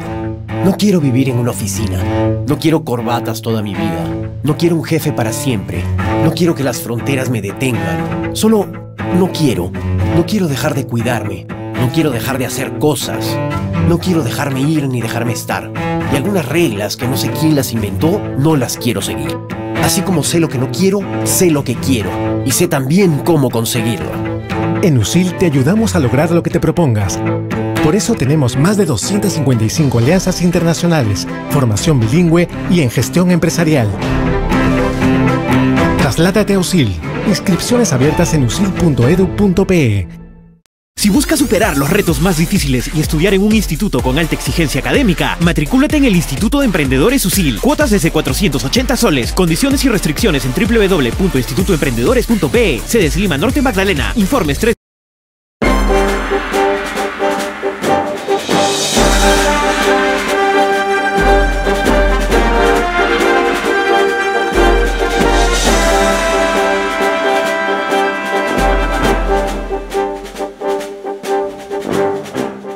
Y estamos nuevamente aquí en los desayunos de Correducila y en el bloque de espectáculos con Alex Ferreira. ¿Y qué les parece si podemos ver el video de Ven que te quiero ver, que es el tema que se está escuchando muchísimo? Tiene no sé cuántas vistas en YouTube. No sé, tú... Esa... En, en Spotify sobre todo está llegando ya a 4 millones ya. Ajá. Sí. y es un tema que les va a encantar. Sí, vamos.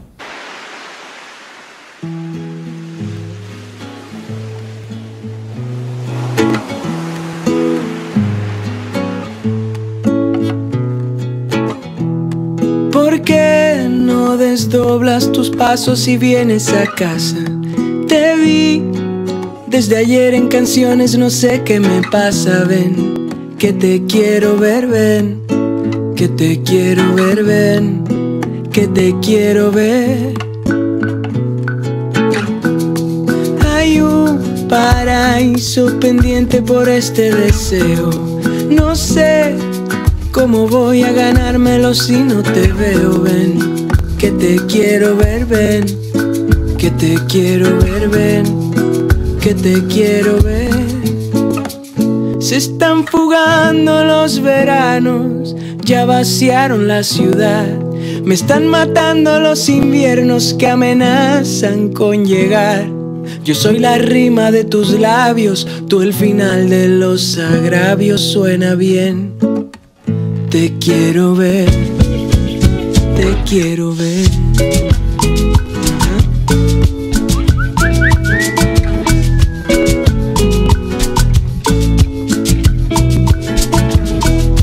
¿Por qué no congelas el tiempo bailando Vamos a, conmigo? a explicarle a nuestro público dónde se grabó este video, Alex. Se grabó en, en la península de Samaná, esta parte que es al norte de la isla de la República Dominicana. Es ¿Y dónde van los, eh, los turistas? No mucho. por no mucho, no, van más a Punta Cana. Sí, y, eh, pues, ¿no? eh, esta es una playa, bueno, ya se está haciendo muy, muy conocida, pero es una playa eh, muy bonita. Esa se llama Playa Bonita, de hecho. Y al principio del video era en el malecón de Santo Domingo, que es la ciudad donde, donde yo nací.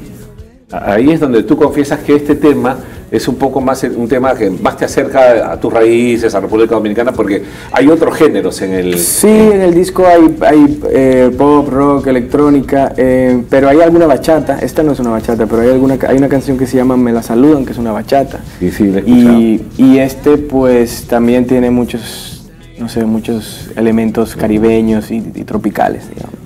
¿Qué beneficios y qué eh, finalmente no eh, beneficios tiene el ser artista independiente? Porque ya creo que ahora, en estas épocas, el 80 o 90% de las bandas, de los cantautores, de- todos son independientes, ¿no? Claro, yo, yo creo que hay gente que de, de hecho no quiere ser independiente y no le conviene. Eh, hay otros que sí nos conviene por cómo somos, nuestra manera de pensar, de, de trabajar.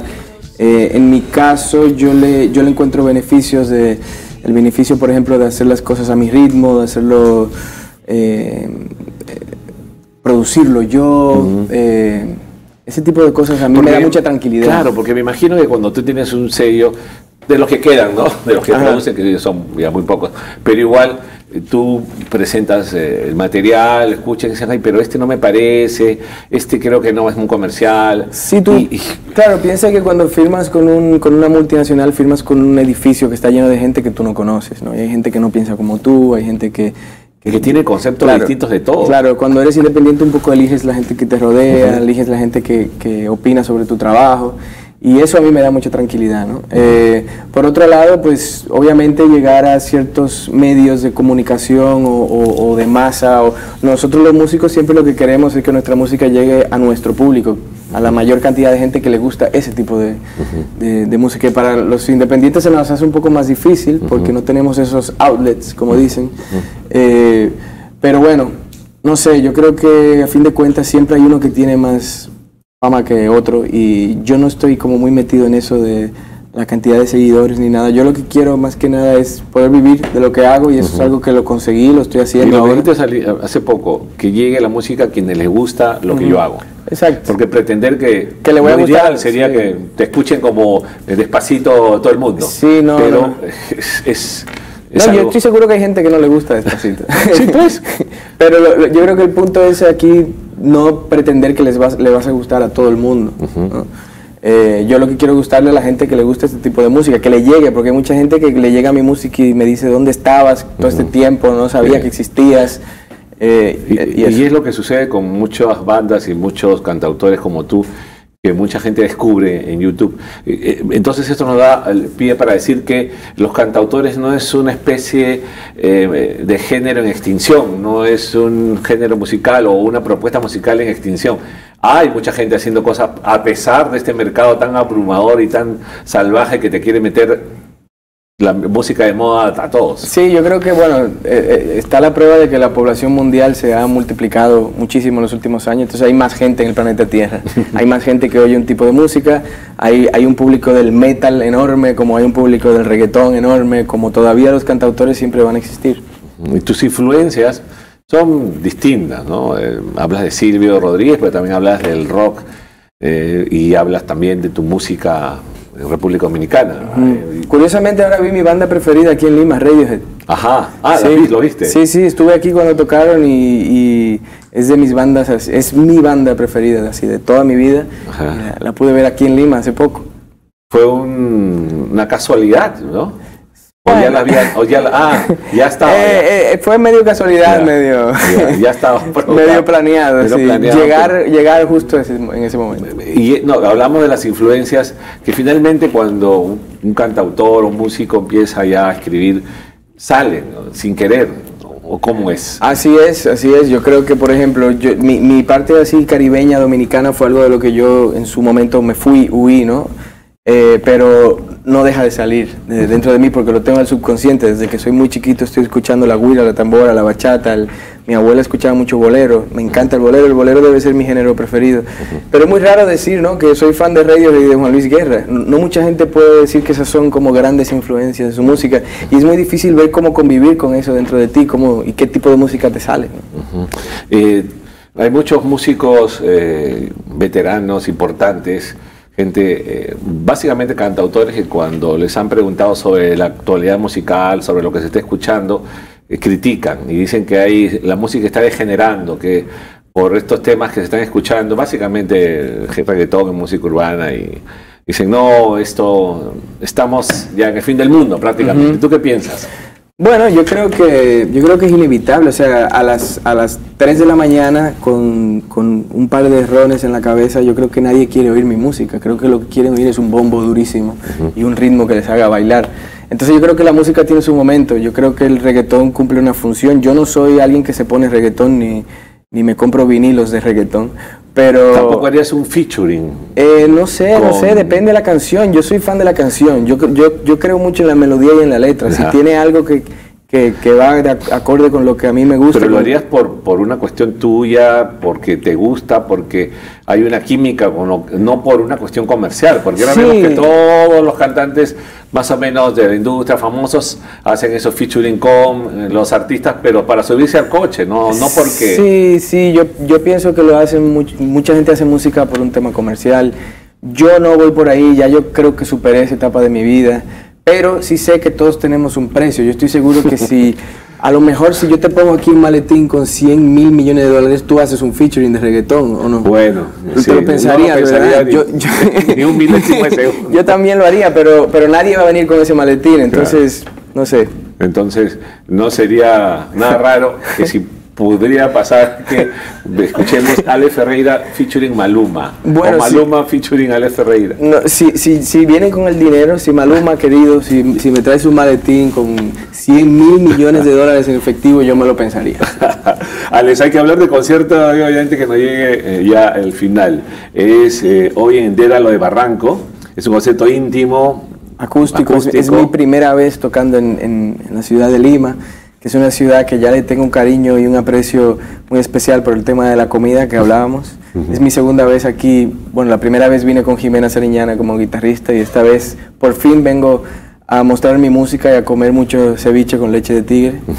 Y voy, estoy presentando un disco que se llama Canapé, eh, que traemos, eh, lo traemos en físico para todos los que vengan, y se lo, se lo pueden llevar si, si así lo desean. Y es en Dédalo Arte, en alexferreira.com, si se, si se meten ahí podrán encontrar más información, cómo adquirir los boletos, el horario y por supuesto si quieren escuchar la música, ahí la tienen. Ya están en todas las plataformas digitales. Todas las plataformas digitales y aquí lo traemos en físico también. También. Gracias, Alex. Un placer A conversar ti. contigo. Muchísimas gracias. Éxitos. Gracias. Nosotros ya nos vamos. Ya llegan los deportes.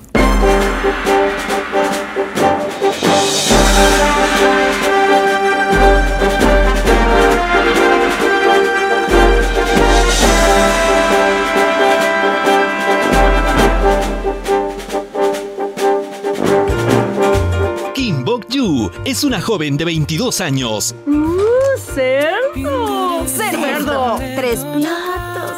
Cerdo. Ella se dedica al levantamiento de pesas. Yo soy tu fan. No te decepcionaré. Felicidades. Kim conocerá a su primer amor, con quien tendrá una colorida amistad. Oye, ¿es un crimen lavar un pañuelo? De lunes a viernes a las 6 de la tarde. El Hada de las Pesas. Por Willax.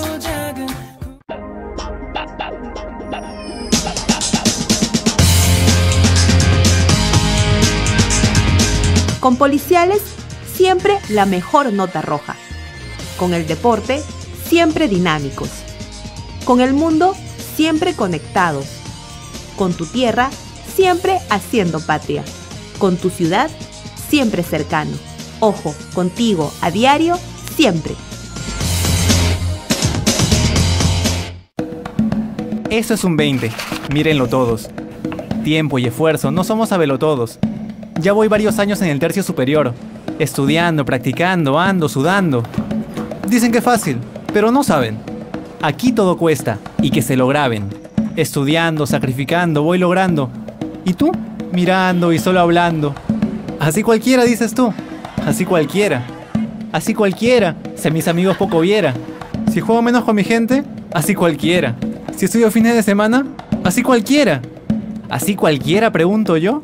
Si así cualquiera, entonces, ¿por qué no lo haces tú?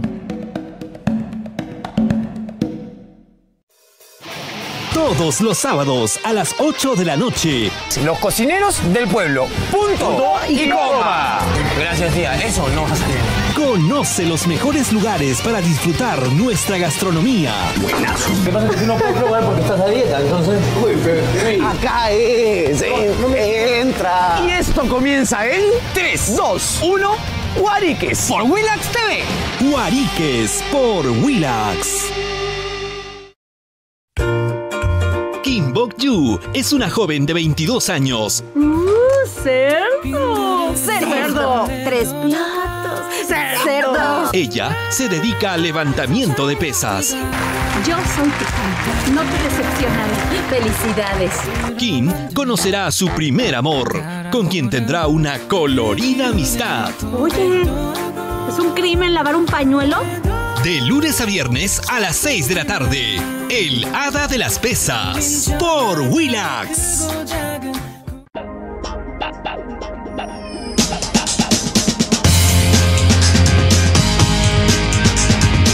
Con policiales, siempre la mejor nota roja. Con el deporte, siempre dinámicos. Con el mundo, siempre conectados. Con tu tierra, siempre haciendo patria. Con tu ciudad, siempre cercano. Ojo, contigo, a diario, siempre. Eso es un 20. Mírenlo todos. Tiempo y esfuerzo, no somos todos. Ya voy varios años en el tercio superior. Estudiando, practicando, ando, sudando. Dicen que fácil, pero no saben. Aquí todo cuesta y que se lo graben. Estudiando, sacrificando, voy logrando. ¿Y tú? Mirando y solo hablando. Así cualquiera, dices tú. Así cualquiera. Así cualquiera. Si a mis amigos poco viera.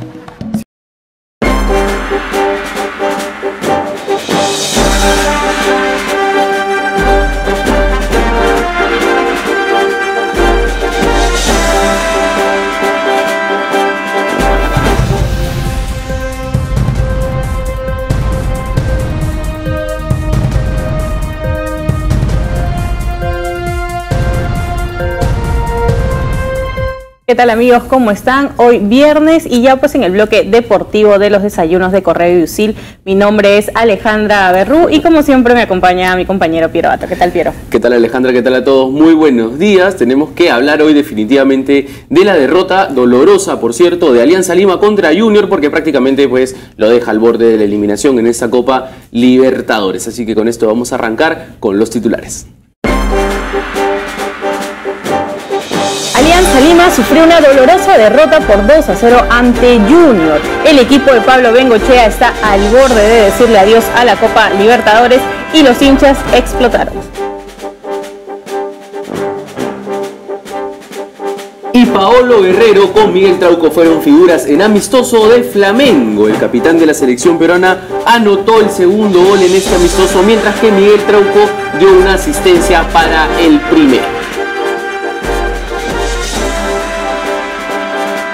Y en otros deportes, hoy se juegan los primeros partidos de las semifinales de la Liga Nacional Superior de Vóley. El HAM se enfrenta a Alianza Lima, mientras que Regatas chocará contra San Martín.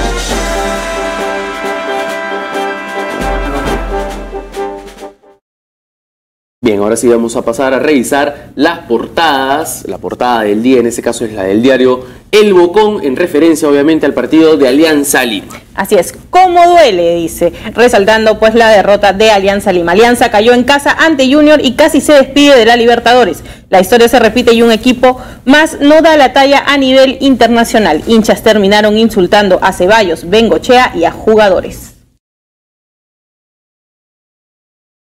Y la portada de Depor en, relación a Paolo Guerrero que dice el primer gol. Paolo jugó un amistoso con el FLA y en una mojó. Se nota que pese a más de cinco meses de para mantiene el olfato goleador y parte del comando técnico de Gareca estuvo en la cancha. Y en portadas internacionales en el diario AS dice el partido de Múnich, Múnich será muy caliente, ya se vive pues la previa de la Champions League para el Real Madrid. Dice Varane habla con AS, muchos sueñan con vernos caer, pero no son la mayoría. Dice creo que aporto grandes cosas gracias a los, gracias a los duelos, al juego aéreo y a mi forma de sacar la pelota. Y la portada de Mundo Deportivo dice primer título. Ellos cuatro junto a Semedo y Mina buscarán en el Wanda estrenar su palmarés como azulgrana, ¿no? Obviamente ahí están Paulinho, Dembélé, Valverde y Coutinho que hasta ahora no tienen títulos con el cuadro de Barcelona. Messi que ya le ha marcado 30 goles al Sevilla, va por su trofeo número 31, al igual que Andrés Iniesta, mientras que Montela aprieta las tuercas a los sevillistas en la concentración de tres días en Marbella. Y bien, ahora vamos a hablar definitivamente de la derrota de Alianza Lima contra Junior. Lo ha dejado en la última posición de, esta, de este grupo H en la Copa Libertadores con goles de Jimmy Chará y Jonathan Alves. Eh, Alianza Lima cayó en casa ante Junior. Una derrota dolorosa y además no solamente pasa por el tema de que haya perdido nada más, sino que dejó una actuación muy, muy Exacto, pobre. dolorosa y, y vergonzosa porque más allá eh, por el tema, cómo se, se realizaron, cómo se dio el trámite del partido, apenas al, al minuto ya teníamos el primer intento de llegada de eh, Junior de manera muy fácil, digamos, al área de Alianza Lima que no mostró pues eh, ideas, que lo que ha podido hacer. Y en realidad pues esto es algo que, que se viene que se viene alargando el, el que si, se hacen algo, si hay algún intento de jugada es por el atrevimiento de jugadores como, como Hover, este, que buscan y tratan, pero no hay una idea de juego, no hay una no digamos no hay no hay un soporte, no, no hay un intento, digamos, no, no se llega a engranar los jugadores con la idea que quiere plasmar Pablo Bengochea. Y lo de ayer pues ya eh, digamos ha sido el punto de quiebre en este inicio 2018 para Alianza Lima. No, una ocasión, eh, a los tres minutos nada más, ya había el, el primer palo que era de Luis Carlos Ruiz. Después Jimmy Chará intenta, a los 50 segundos, fue el primer palo de Junior de, Así de- de una acción de Jimmy Chará. 50 segundos, no había pasado absolutamente nada en el partido y esto fue, eh, de hecho, en el primer tiempo, eh, desatención de la defensa de Alianza Lima, errores entre Araujo, entre Godoy, Marina que no cerraba, eh, el lateral izquierdo Guidino prácticamente eh, perdido durante todo el partido, no generaba, no defendían, tampoco atacaban, entonces no aportaban prácticamente nada. Como te dije el otro día, ¿no? Un jugador de Junior, Alves, había mencionado que eh, una, un- el punto fuerte de Alianza eran las bandas. Yo no sé qué partidos habrá visto de Alianza, pero en este partido quedó más que claro que las bandas es el punto más bajo de Alianza Lima. O sea, Alianza está jugando prácticamente eh, por el medio nada más, apostando lo que puede hacer Hover, pero un, un equipo que trata de atacar, que intenta, el ataque a veces inicia por las bandas. Y si no tienes laterales que te aporten en ataque, ¿qué puede hacer el equipo de Alianza? No genera daño, no sabe cómo atacar, eh, defiende mal. Y este 2-0 de alguna forma ha sido más generoso porque en algún momento Junior puede, puede av- avanzar, pero como que se frena, ¿no? Da la intención de que está esperando a Alianza Lima o de que, espe- de que parece, parece o espera que Alianza Lima despierte, pero y se repliega un poco, pero eh, Alianza Lima nunca despertó. Claro, cuando, cuando pasa ese, ese remesón de los primeros minutos, Junior le baja un poquito la intensidad, porque, a ver, tranquilamente esos 10 primeros minutos, Junior pudo haber metido uno o dos goles tranquilamente y nadie decía nada del resultado. eh, la- el equipo de Alianza Lima se vio frustrado, las jugadas en ataque no salían, las pocas que tuvieron, por ejemplo, Leyes. eh, acá, acá vemos imágenes de lo que fue la pelea entre Gabriel Leyes con Alejandro Hover. ¿no? Esto Así pasa es. también por la propia tensión del equipo. No te sale nada, tienes una ocasión clara que pudo haber sido el empate en ese momento. Y Gabriel Leyes intenta hacer un taco cuando lo que tenía que hacer era reventar el arco y definir, porque eso pudo haber acabado tranquilamente en el gol del empate de Alianza Lima, ¿no? Y, Leyes le dice, pero era para ti, te la había dejado para ti, pero ¿pero ¿por dónde? Era, para que remate a portería y, y Hover obviamente se acerca a reclamarle, y ahí es cuando ambos se increpan y, tuvieron una discusión bastante fuerte y acalorada, que, no sé cómo habrá acabado después en camerinos ni nada, ¿no? Pero lo que dejó en el campo, por lo menos, fue una discusión bastante fuerte entre los dos jugadores con esta, con esta acción, ¿no? Ahora, esta derrota de Alianza Lima lo deja con un punto nada más en el grupo H de la Copa Libertadores luego del empate. Sin anotar goles. Sin anotar goles. Llevan cinco partidos sin, ano- sin anotar goles. El último partido donde Alianza anotó goles fue en abril de 2012 contra Libertad, incluso en una derrota, 1-2 ah, eh, en, en Matute, en aquella Copa Libertadores del año 2012. Después ha pasado el 4, el 0-4 de Huracán en casa, después el 0-0 eh, eh, contra Huracán allá en Argentina, después vino obviamente el partido contra Boca 0-0, el partido contra Palmeiras 2-0 y ahora esta derrota 0-2 contra Junior. Son cinco partidos de Alianza Lima sin poder anotar goles. Esto la verdad es una, es una racha bastante importante para un equipo que eh, sale campeón en el torneo peruano que nos represente que no pueda anotar un gol, la verdad es, es preocupante. ¿no? Y preocupante también, de hecho, los hinchas eh, explotaron contra el equipo de Pablo Bengochea tras perder en casa. Y en, cierta parte, eh, esto pues es, es consecuencia de lo que viene mostrando el equipo. ¿no? Un equipo que Gustavo Ceballos a principio de año eh, declaró que este año no era el año de Alianza Lima para fichar jugadores, sino para tratar de vender jugadores. Yo no sé cómo van a vender jugadores si están jugando de esta manera. Sí, definitivamente sí. Bueno, si vamos viendo eh, las imágenes de, de lo, de lo que ocurrió, pero ya era, digamos, lo que se venía dando, el partido empezó, no había, no había, digamos, como decíamos, no, no había una idea de juego, no había este un orden, ni siquiera en Alianza Lima no se veía, no se veía ya nada de eso, y digamos pues los hinchas reclaman, reclaman todo esto, reclaman de que in- incluso un, un plantel que se tenía, o sea, en lugar de armar o reforzar Alianza, este año Alianza se desarmó, Se desarmó por se, completo. o sea, desar- se desarma el equipo, se dejan ir piezas que han sido completamente eh, claves y los refuerzos no son pues lo hemos visto, No no, han aportado, no han hecho la diferencia siendo extranjeros y si traes un extranjero, sobre todo creo yo los extranjeros, ¿no? Porque más allá creo que son los que traes para que definitivamente hagan la cuota de diferencia en el club, ¿no? Y no tampoco para tenerlos sentados, sino para que tengan esa regularidad. De Hay hecho, una, hay una diferencia abismal entre los jugadores que tenía Alianza Lima el año pasado. Así Se le criticaba mucho a De la Asa y Cosío por las bandas, pero creo que De la Asa y Cosío han dem- ah, demostraron el año pasado que por lejos eran mejor que, que Marina o Guirín o, y si era o el que año de con entonces no era, digamos, para desarmar el equipo de esa, de esa manera, ¿no? Para dejar de ir a esos jugadores. y de hecho que se siente hasta ahora la ausencia de Luis Aguiar, que era el hombre que movía el medio campo, era el goleador, era el hombre que le ponía el coraje al equipo de Alianza Lima cuando tenía, tenía una situación complicada dentro del partido. Y también el equipo de Alianza Lima el año pasado tenía mucha más jerarquía, ¿no? Aguiar y Pacheco eran jugadores con, con Estuvo harta atento, experiencia. Pacheco, estuvo mirando el partido. Estuvo mirando el partido estuvo Germán Pacheco y, y los jugadores que vinieron, a ver, Tomás Costa no es, no es Luis Aguiar.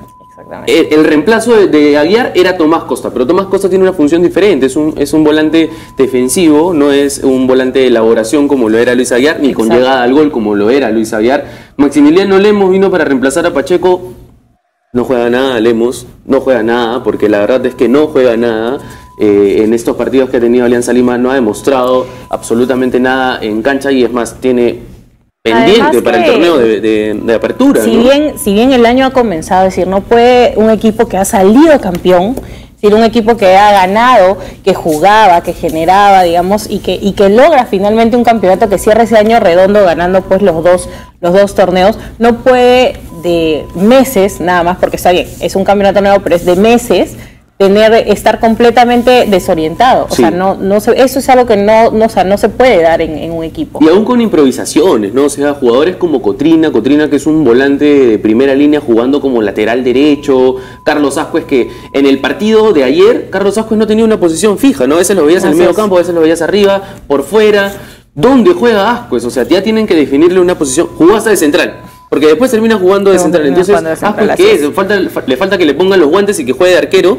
Y es la única posición en la que Ascuez completa ya todo el campo, Todo el campo. todo el campo de juego. Porque ha jugado de todo Ascuez esta temporada. Y no es posible que un jugador eh, tenga eh, tantas posiciones en, en el campo en un equipo que supuestamente tiene que estar ya a estas alturas cuajado siendo el actual campeón del torneo. Eso, eh, sobre todo, porque es un equipo que ya viene de un proceso anterior, un equipo, un, un, este, un técnico que ya ha encontrado, porque se ha salido campeón, porque ha encontrado una idea de juego, porque ha sabido mover sus, digamos, sus jugadores, sus fichas y porque ya juega de una manera. Esta alianza parece pues que realmente no, no tiene memoria de absolutamente nada de lo que pasó en el 2017. Así que con esto vamos a pasar al corte comercial para volver y hablar definitivamente de Paolo Guerrero y de Miguel Trauco que tuvieron acción el día de ayer con Flamengo.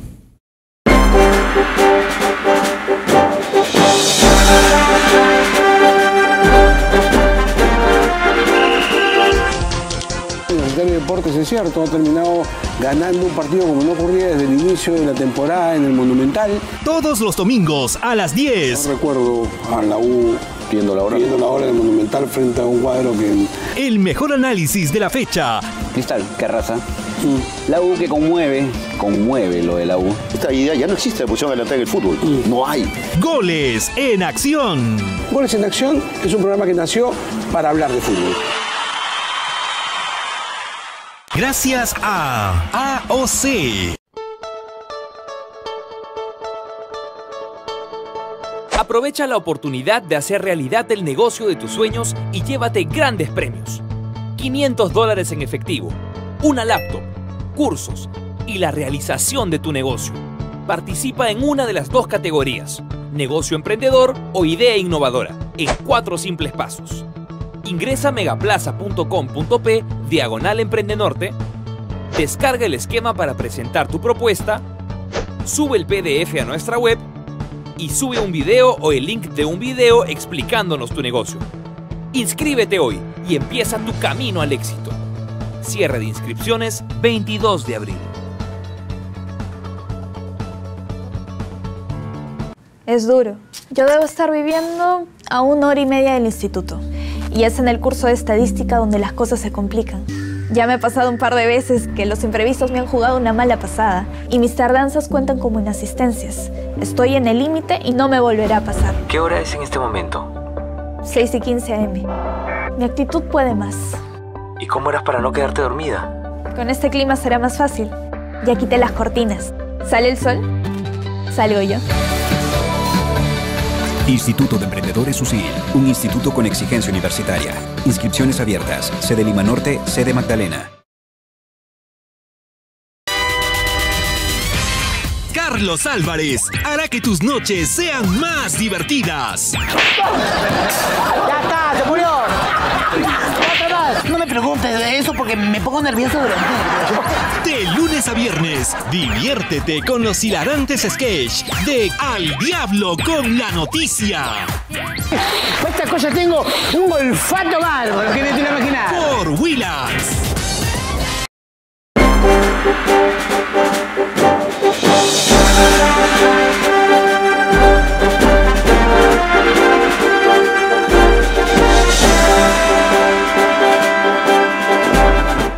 Bueno, regresamos al bloque eh, deportivo y esta vez vamos a hablar de Universitario de Deportes que enfrenta esta tarde a Ayacucho Fútbol Club. Es desde las 3 y 30 de la tarde para, eh, digamos, definir una fecha más del torneo de verano. Así es, Universitario de Deportes enfrenta a Ayacucho, como tú dices, a las 3.30 de la tarde y tiene equipo definido con algunas novedades. Va, a alinear Pedro Trollio allá en Ayacucho en su visita. Porque va a estar Subsuke en el arco, no es novedad, Corso, Velarde Benincasa y Axel Chávez por el lateral izquierdo. Jesús Barco nuevamente va a ser eh, el hombre de la primera línea de volantes junto a Manuel Paucar, Gerson Vázquez. Y arriba van a estar Quintero, Siucho y Montesinos. Vamos a ver cómo le responde Montesinos a Pedro Troglio en altura. Eh, puede ser que le choque por ahí por ser su primer partido en Así altura, ¿no? Vamos a ver cómo le El responde. Sukbuk también decía que es su primer partido en altura. Así es, entonces, eh, de hecho, bueno, aunque para ser portero quizás por ahí no sienta mucho, mucho la pegada, ¿no? Pero, pero en Vamos ataque, cómo- como, como delantero, vamos a ver cómo le va a Montesinos. Así que hoy juega Universitario de Deportes a las 3 y 30 contra Ayacucho Fútbol Club. Y ahora sí vamos a hablar de Pablo Guerrero y de Miguel Trauco porque destacaron en amistoso de Flamengo. Eh, Pablo Guerrero se reencontró con el gol. Es bueno que tenga ritmo de Así es, jugaron con, ¿no? con Tigres ya, digamos, y se le abrió el, el arco a Paolo Guerrero y Miguel Trauco pues también dando una asistencia y recibió la visita pues del eh, comando técnico también de eh, el preparador físico de la selección. Así es, los preparadores físicos de la selección visitaron en este caso a Miguel Trauco, porque de hecho preocupa su situación en. Flamengo. Ha jugado tres partidos esta temporada, de 19 ha jugado tres, y los tres ni siquiera han sido de 90 minutos. Uno fue 90, que fue contra Macaé, el otro contra Madureira fue de 7 minutos, y contra Fluminense jugó se- eh, 60 minutos nada más. Ha sumado un total de 157 minutos en este 2018, y, y de hecho la Preocupa situación de Trauco la no preocupa. regularidad de, de Trauco. Preocupa que no tenga el lateral izquierdo titular de la selección peruana regularidad, ¿no? Más Pero porque de hecho la idea es de que esperando que llegue pues Paolo Guerrero al mundial después que se entienda con él que ya, Sí. que ya se conocen y que juegan juntos. sí, que cuántas veces han sido socios en la selección peruana también, ¿no? Así que eh, Pablo Guerrero anotó el segundo gol en ese partido y Miguel Trauco acabemos su asistencia, ahí está, para el gol de Marlos Moreno. Y bueno, esta noche se inician las semifinales en la Liga Nacional Superior de Vole, como ya habíamos visto pues en los cuartos de finales Hansa y Alianza Lima, Regatas y San Martín, ¿no? El día de hoy se enfrenta Hansa contra Alianza Lima a las 7 de la noche y Regatas Lima con San Martín a las 8 y 30. Seguramente pues vamos a tener emocionantes partidos. Por ejemplo, el último que se jugó Alianza Lima eh, fue un pase bastante, bastante sufrido hasta el quinto set. No se esperaba Sí. porque ya habían ganado los dos primeros, pero eh, digamos sí le costó. Así que estas semifinales van a estar realmente, realmente de infarto. Y va a ser interesante, ¿no? Ver a, a Hamza, que en este caso pues es su primer, su primera chance a llegar a la final, ¿no? Porque de hecho no tienen títulos en la Liga Nacional Superior de Voley, mientras que Alianza Lima tiene la oportunidad de estar en la final de la Liga Nacional Superior de Voley. En el otro partido chocan un par de candidatos, ¿no, Alejandra? Como lo Así son eh, Regatas Regatas con y San Martín. San Martín. Así es. Entonces, bueno, ahora sí vamos a estar con nuestro invitado del día de hoy, Ian Salazar, ganador pues de la segunda fecha del eh, Super Cross. ¿Qué tal, Ian? ¿Cómo estás? Bienvenido. Bueno, bueno, buenos días, muchísimas gracias por la invitación. ¿Qué tal? Eh, súper tranquilo, súper bien y bueno, preparándome para lo que va a ser este fin de semana la primera fecha del Campeonato Nacional de Enduro Cross Country. Sí, cuéntanos un poco esta modalidad, porque de hecho nosotros este, acá, sobre todo en, en Lima y en Perú, estamos acostumbrados a ver los campeonatos, digamos, en motocross cortos o digamos las vueltas, pero ¿cómo va a ser este campeonato de cross country? Sí, bueno, este, este formato de, de Enduro Cross Country es muy similar al de motocross. Todos los pilotos parten juntos y de hecho cumplen un número de vueltas. Es un circuito señalizado, pero mucho más grande, sin saltos y solo con obstáculos naturales. Así que seguramente vamos a pasar por las dunas, por los cerros ahí. Y bueno, quizás nos metamos un poco al circuito, pero sin los saltos, solo las curvas. El circuito debería durar aproximadamente 10 minutos y son tres vueltas. Así que más o menos es 30 minutos de competencia y son dos mangas, igual que en, que en el motocross o en supercross. ¿Cómo te sientes en esta modalidad de, de competencia? ¿Te, te- ¿Es la Sí. que más se te acomoda? Sí, sí, me gusta Sí. bastante. Bueno, a mí me gusta bastante la velocidad. Entonces, todas las competencias que sean de velocidad o, o, bueno, de resistencia me ayudan bastante. No me gusta mucho el hard enduro porque es muy lento. Entonces, ahí como que no es mi hábitat. No, me gusta además el, el al hard- mango. Claro, el- de hecho el, el hard enduro hay, hay que estar más destrabando la moto que, que estar corriendo encima. Sí, claro, claro. Eh, bueno, yo lo que hago, como pueden ver ahí, es el, el supercross, el motocross es velocidad, es habilidad y el que va más rápido gana. Así que yo creo que ese es mi hábitat. ¿Ya cuánto tiempo tienes en, en este deporte? En el deporte ya tengo uy, mucho tiempo, compito desde los 5 años. imagínate, toda la vida Sí, no, realmente no me acuerdo mucho de, de eso, pero sé que desde chiquito siempre me gustaron las motos y bueno, de ahí en adelante siempre estuve arriba de la moto. Felizmente nunca he tenido lesiones muy graves que me alejen por, por tiempos eh, largos, de periodos largos de tiempo, así que bueno, siempre he estado ahí activo. Claro, porque de hecho le cuesta a un deportista después de una lesión reincorporarse Sí. nuevamente, ¿no? Tomar Sí, el claro. tema físico, porque este- estos tipos de deportes demandan mucho esfuerzo físico también. Sí, sí, muchísimo. De hecho, si paras por A o B situación un mes, un par de semanas, ya te cuesta retomarlo. Así que es un deporte que, que tiene que estar en constante ahí eh, actividad, ¿no? Tanto en la moto como fuera de la moto. Bueno, y cuéntanos en el Supercross con quiénes eh, participantes también pues te estás enfrentando. Has ganado, digamos, esta segunda fecha. ¿Cómo vas más o menos en lo que es la, general y en la tabla? Sí, bueno, el los campeonatos, hasta el momento hemos corrido dos fechas del Campeonato Nacional de Supercross y una fecha del Nacional de Motocross. En todas he podido ganar en todas las carreras en las que estuve. Sin embargo, el nivel está muy fuerte. Este año está Ian Chía, está Flavio Castro, Claudio Centeno. De hecho, el nivel de lo que ha sido los años anteriores ha subido bastante, se nota, la exigencia es, es mayor, por eso hay que entrenar todavía más fuerte. Y se viene, eh, se viene latino. Se viene latinoamericano, así ¿Cómo, es. cómo ves eh, en este caso el, el nivel de los, de los peruanos? ¿Qué expectativas tienes tú para, este, para esta competencia, para este torneo? Sí, yo creo que, yo creo que nos va a ir bien. Eh, yo creo que, que el hecho de que sea en Chilca nos ayuda un montón porque es un circuito con- que tiene un tipo de terreno muy difícil de encontrar en Latinoamérica. De hecho, yo he estado en muchos lugares y nunca he visto un circuito como el de Chilca por la arena, ¿no? Es como, es como correr en la playa. Entonces no hay, no hay esa opción en ninguna parte de Latinoamérica y lo tenemos solo acá. Entonces hay que aprovechar de eso, hay que en- entrenar, es un circuito que te destruye literalmente muchos huecos, es muy complicado. Andar en la arena, de hecho si andas bien en la arena puedes andar bien donde sea. Entonces yo creo que eso es un, un punto a favor de nosotros y hay que saber aprovecharlo para, para poder tener buenos resultados. ¿Ya te has preparado para, para esa ¿Has ido a entrenar para allá, imagino, para Sí, esa sí, competencia? sí, ¿no? sí. De hecho hubo un latinoamericano allá en Chilca el 2014 que, que nos fue bien. Eh, yo pude partir adelante en las dos mangas y bueno, por, por un tema físico me morí, literal. Entonces yo creo que he aprendido de los errores, ya han pasado cuatro años, así que este año estoy seguro que me va a ir mucho mejor. Y físicamente, ¿cómo te has preparado también para, cómo te preparas para esa competencia? Porque Sí, no, te me he primera. estado preparando mucho mejor. Eh, salgo a pedalear bastante, eh, troto bastante. Bueno, de hecho, he añadido algunas cosas que antes no hacía, que me están dando mucho, muchos frutos.